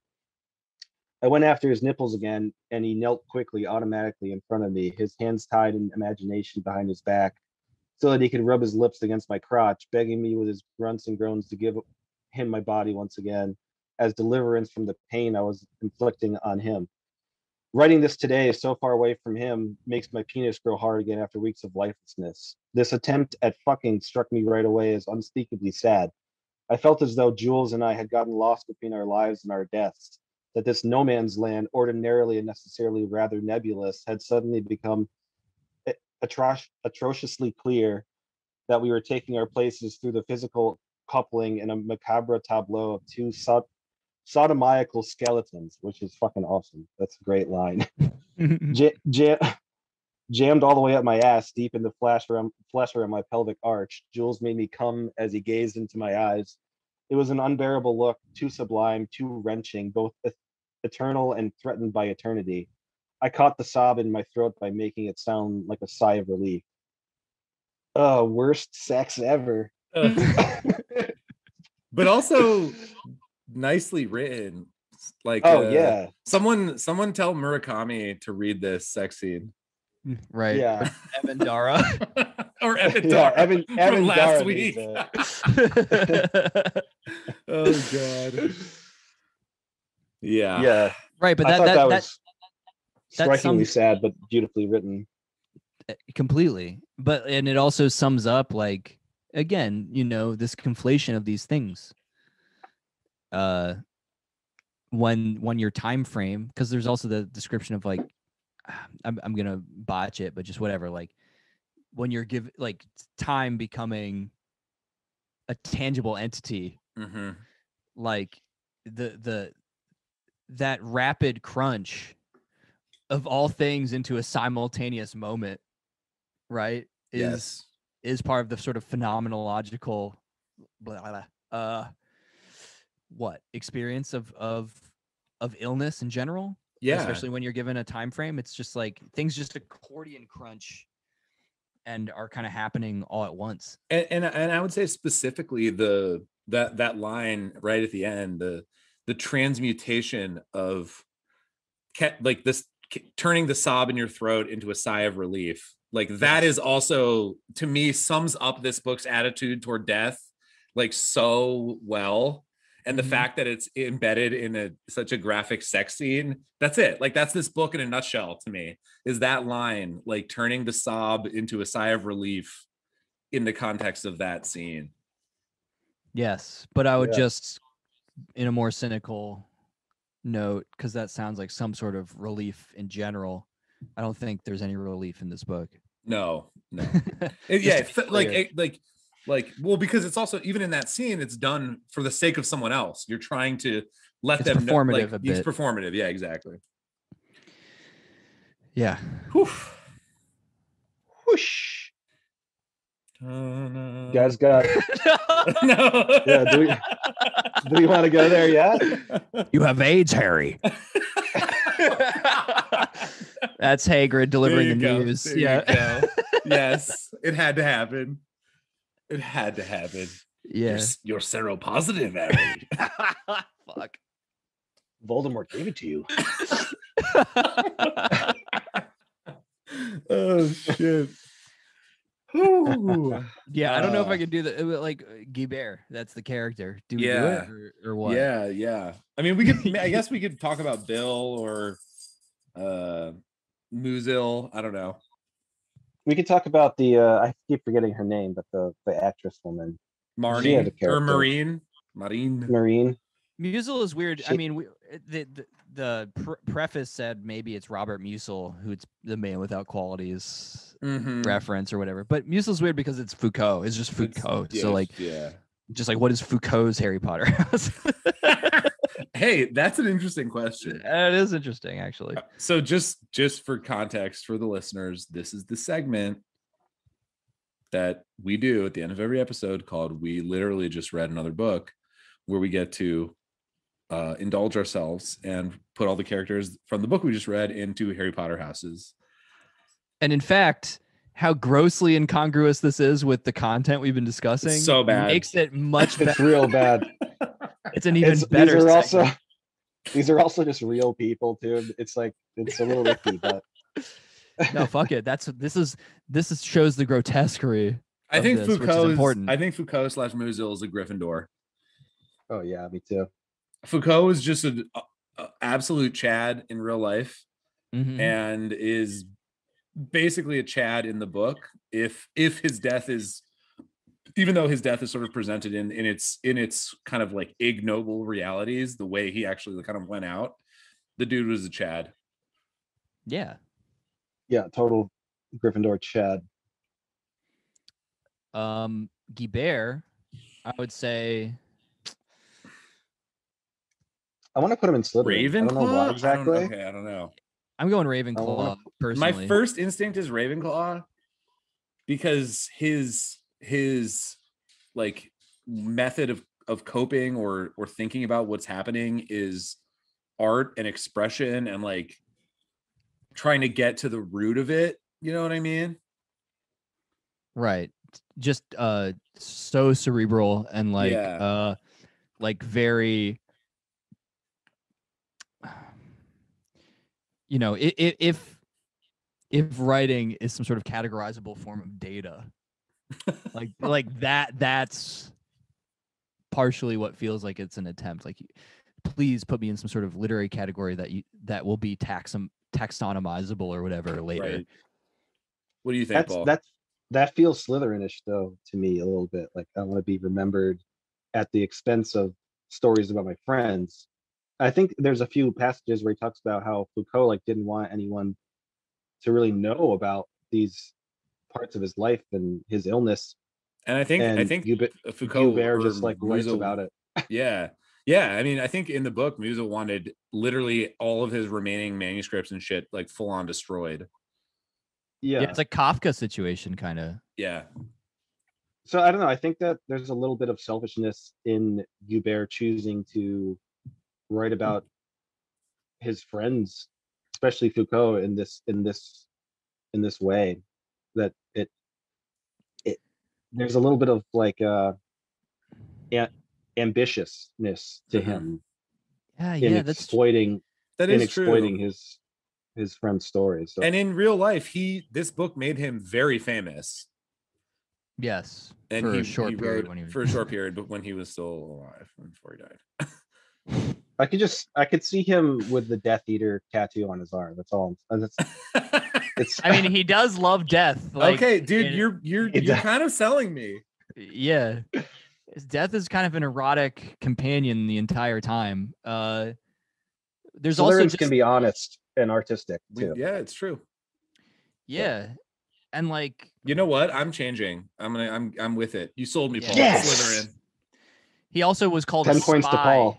By some of his friends. Yeah. just straight up a spy. They're like, it kind of disturbs me that you retained all those like specifics about how, what I said to you like a year ago and wrote it down. You know, like y- that kind of fucks me up. And that Right. that is yeah.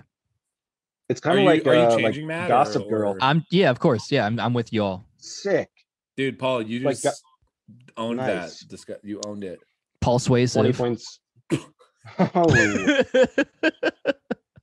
Paul Swayze. yeah, sure. Ugh. Um, what- Sure. How do you guys feel about? How do you guys feel about Bill? Slytherin. Bill's a Slytherin. He's a Slytherin. If Yeah, we're he's even- fucking slithy. He's the most caricature, worst yeah, Slytherin. Yeah. just Parseltongue, just being like, I Draco can Malfoy. yeah. just like if I can have sex with you, you don't have AIDS.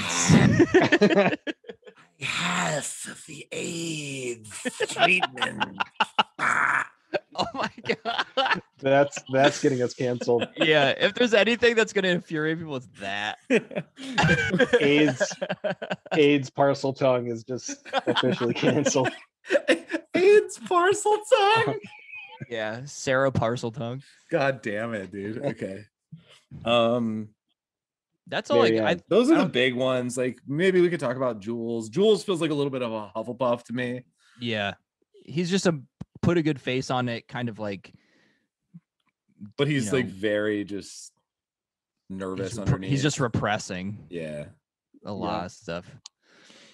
Um, yeah, I I do, I do think we could talk about Marianne, the the actress. I think she's a Slytherin. too. Definitely Slytherin. She's Yeah. all about She herself. She just bails when she's like,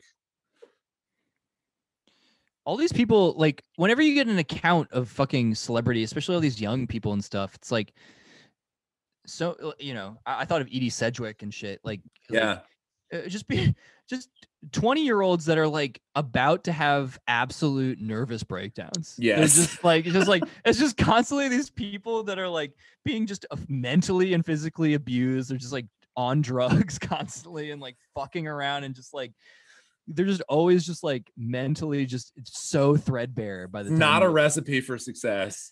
no, I always get No. so stressed out reading. You know, forget even the AIDS element, which just completely is catastrophic. It's like, yeah, these fucking people lead lives that would just demolish me mentally. Mm, yes, same. Yeah, she was just she was just getting abused on stage, literally, by her co-star. Right. Yeah. Oh man, that was Yeah. biz- that was a bizarre like But that's what I mean. Marine was 25 in the that tel- in that time period, which is just like a nice little bit of perspective there. It's like, damn. that was a dark situation where he's just describing like the the guy that her co-star actor taking advantage of like Right. a physical scene to like actually fit abuse her on stage in front so of much, he's like, people. yeah. He's like, no, I need to do a, uh, I need to like do a cold stone stunner on you or whatever because of because of of realism. He just calls it the jabroni. I have to suplex you through a table. Exactly. We want the audience to buy it. Jesus. um, I need to Yeah. crack, I need to crack your spine like a WWE uh, Oh, wrestler. Ooh, nice brand uh native advertising. is that what it's called? no, I don't know. What uh, uh, score, is it score time? Let's do it. yeah, final thoughts and I, I've got to go last, I think, right? So Yes. I'll go first. Uh, I really like this book. It was really fucking good. I really, there's not much I didn't like about it. Um, it's what I like in a story, you know. Even though it's there's a lot of truth elements to it, but yeah, God cool it with that. Cool It's, it, it's, cool it's it with coming. that. It's coming fast and furious now. Yeah, we got to Yeah, get off here. Yeah, Yeah. sorry. I was too serious Um, for too long. Right. but I, I, you know, I have a fascination with the macabre. Uh, and it hit my, it tickled my funny bones, my dark bones. Yes. Um, Okay. Ugh. Okay. What dark bones? Let's just get through it. You sound like Let's a just get through Thanksgiving turkey. I yeah, got I, there's not much I didn't like about it. I really liked his writing a lot. I thought it was beautiful, evocative, um, touching. I think I'm gonna give it a four point through two five. Nice. Ooh. That's a nice clean score. Yeah. Four and a quarter. Four and a core. Or a core. uh Quarter. All right. Uh, I also very much like this book. Um, I am a bit, I guess, susceptible to. I, I've read a couple, not AIDS obviously specifically, but like I've just read other sort of, um, how to describe it, like unflinching accounts of illness Mm. like in a sort of weird feverish autobiographical mode where uh you know uh I, I read journey around my skull i think was the last thing i read uh pretty good um very different illness and topic but like whatever this stuff affects me emotionally pretty intensely um i don't know very positive but in my version in grumpy matt's version which means it's a, a 3.5 for me 3.50. Yeah. That I, relates uh, to your that relates to your your Nazi love. Nazis Why, are like ha- AIDS. how's that how's that I'm just kidding. That's fine. yeah that's right I, I also. i fucking came out chest out at you and made you back down I'm just afraid that you might like turn SS on me right now and come over to my house and kill me. holy shit dude Whoa. So uh, I also have a have an affinity for affecting narratives of disease. I loved the film Inside Out by Pixar. you can Uh, be sad and happy at the same time and it's not bad yeah. Um I think I'm actually kind of somewhere in between you guys. I I was I originally I, I went back and forth with this book a little bit because I was uh like like Matt deeply emotionally affected, but like also in some ways like literarily not super into it in pra- like with the writing itself. But then I Mhm. reread some chunks and I, it, it fit together in a way for me that that wound up working. Um so yeah, I think I'm at like a 3.65. Same, like you know, three Yeah. like mid mid to high threes. Definitely rounding up to four on the Goodreads. So in that in that zone for sure. and i, I just think, if you if you rate this below a four, you're discriminating. I know. emo- uh, I know. Damn it. I- It's a it's, a seven. It's a six bagger. Six out of five. on goodreads uh i think I give it a- I give it eight out of eight bags and one condom. please for the love of god one condom we have to end this episode like now. Yeah, we do. Fuck. What were you gonna Yeah. say, Matt? Sorry. No, just uh I mean, again, coming from not having read a lot about, you know, this this whole disease and its spread in in, in literary forms and stuff, like I, I think this was I think it was a big deal. Like yeah. I don't know. I, I, as far as like a demographic sort of representative that could hear about this shit, that this felt like a good I don't know, a good way to to engage with it or Read this fucking book for sure. a document worth reading. Yeah. Read this book. No question. Yes. Yeah, good COVID book. Good COVID book, definitely. That adds a fucking that's Mhm. a, that's a thing for me. Beach read. Uh beach read uh in COVID. COVID beach read. Yeah. And uh practice safe safe sex, everybody. yeah. yeah. All right. Be careful out there. Be careful out there. COVID and sex things. And with that, we leave you. We love you. Bye. Thanks for listening. Bye. Oh, hold on Bye, one second. everybody. One second. I Wait, don't no. know what it's gonna look like by the time this episode comes out, but we do have a Patreon. now. That's real. Yeah. Hmm. Uh there We are accept it's- currency it's, only. It's very uh yeah, it's skeletal, but What's it called? If- If you give us money, yeah. bye. oh, really? Okay, we didn't go by. okay, now we can say bye. Or unless anyone wants to say anything. No, dude, fucking end it. What the fuck?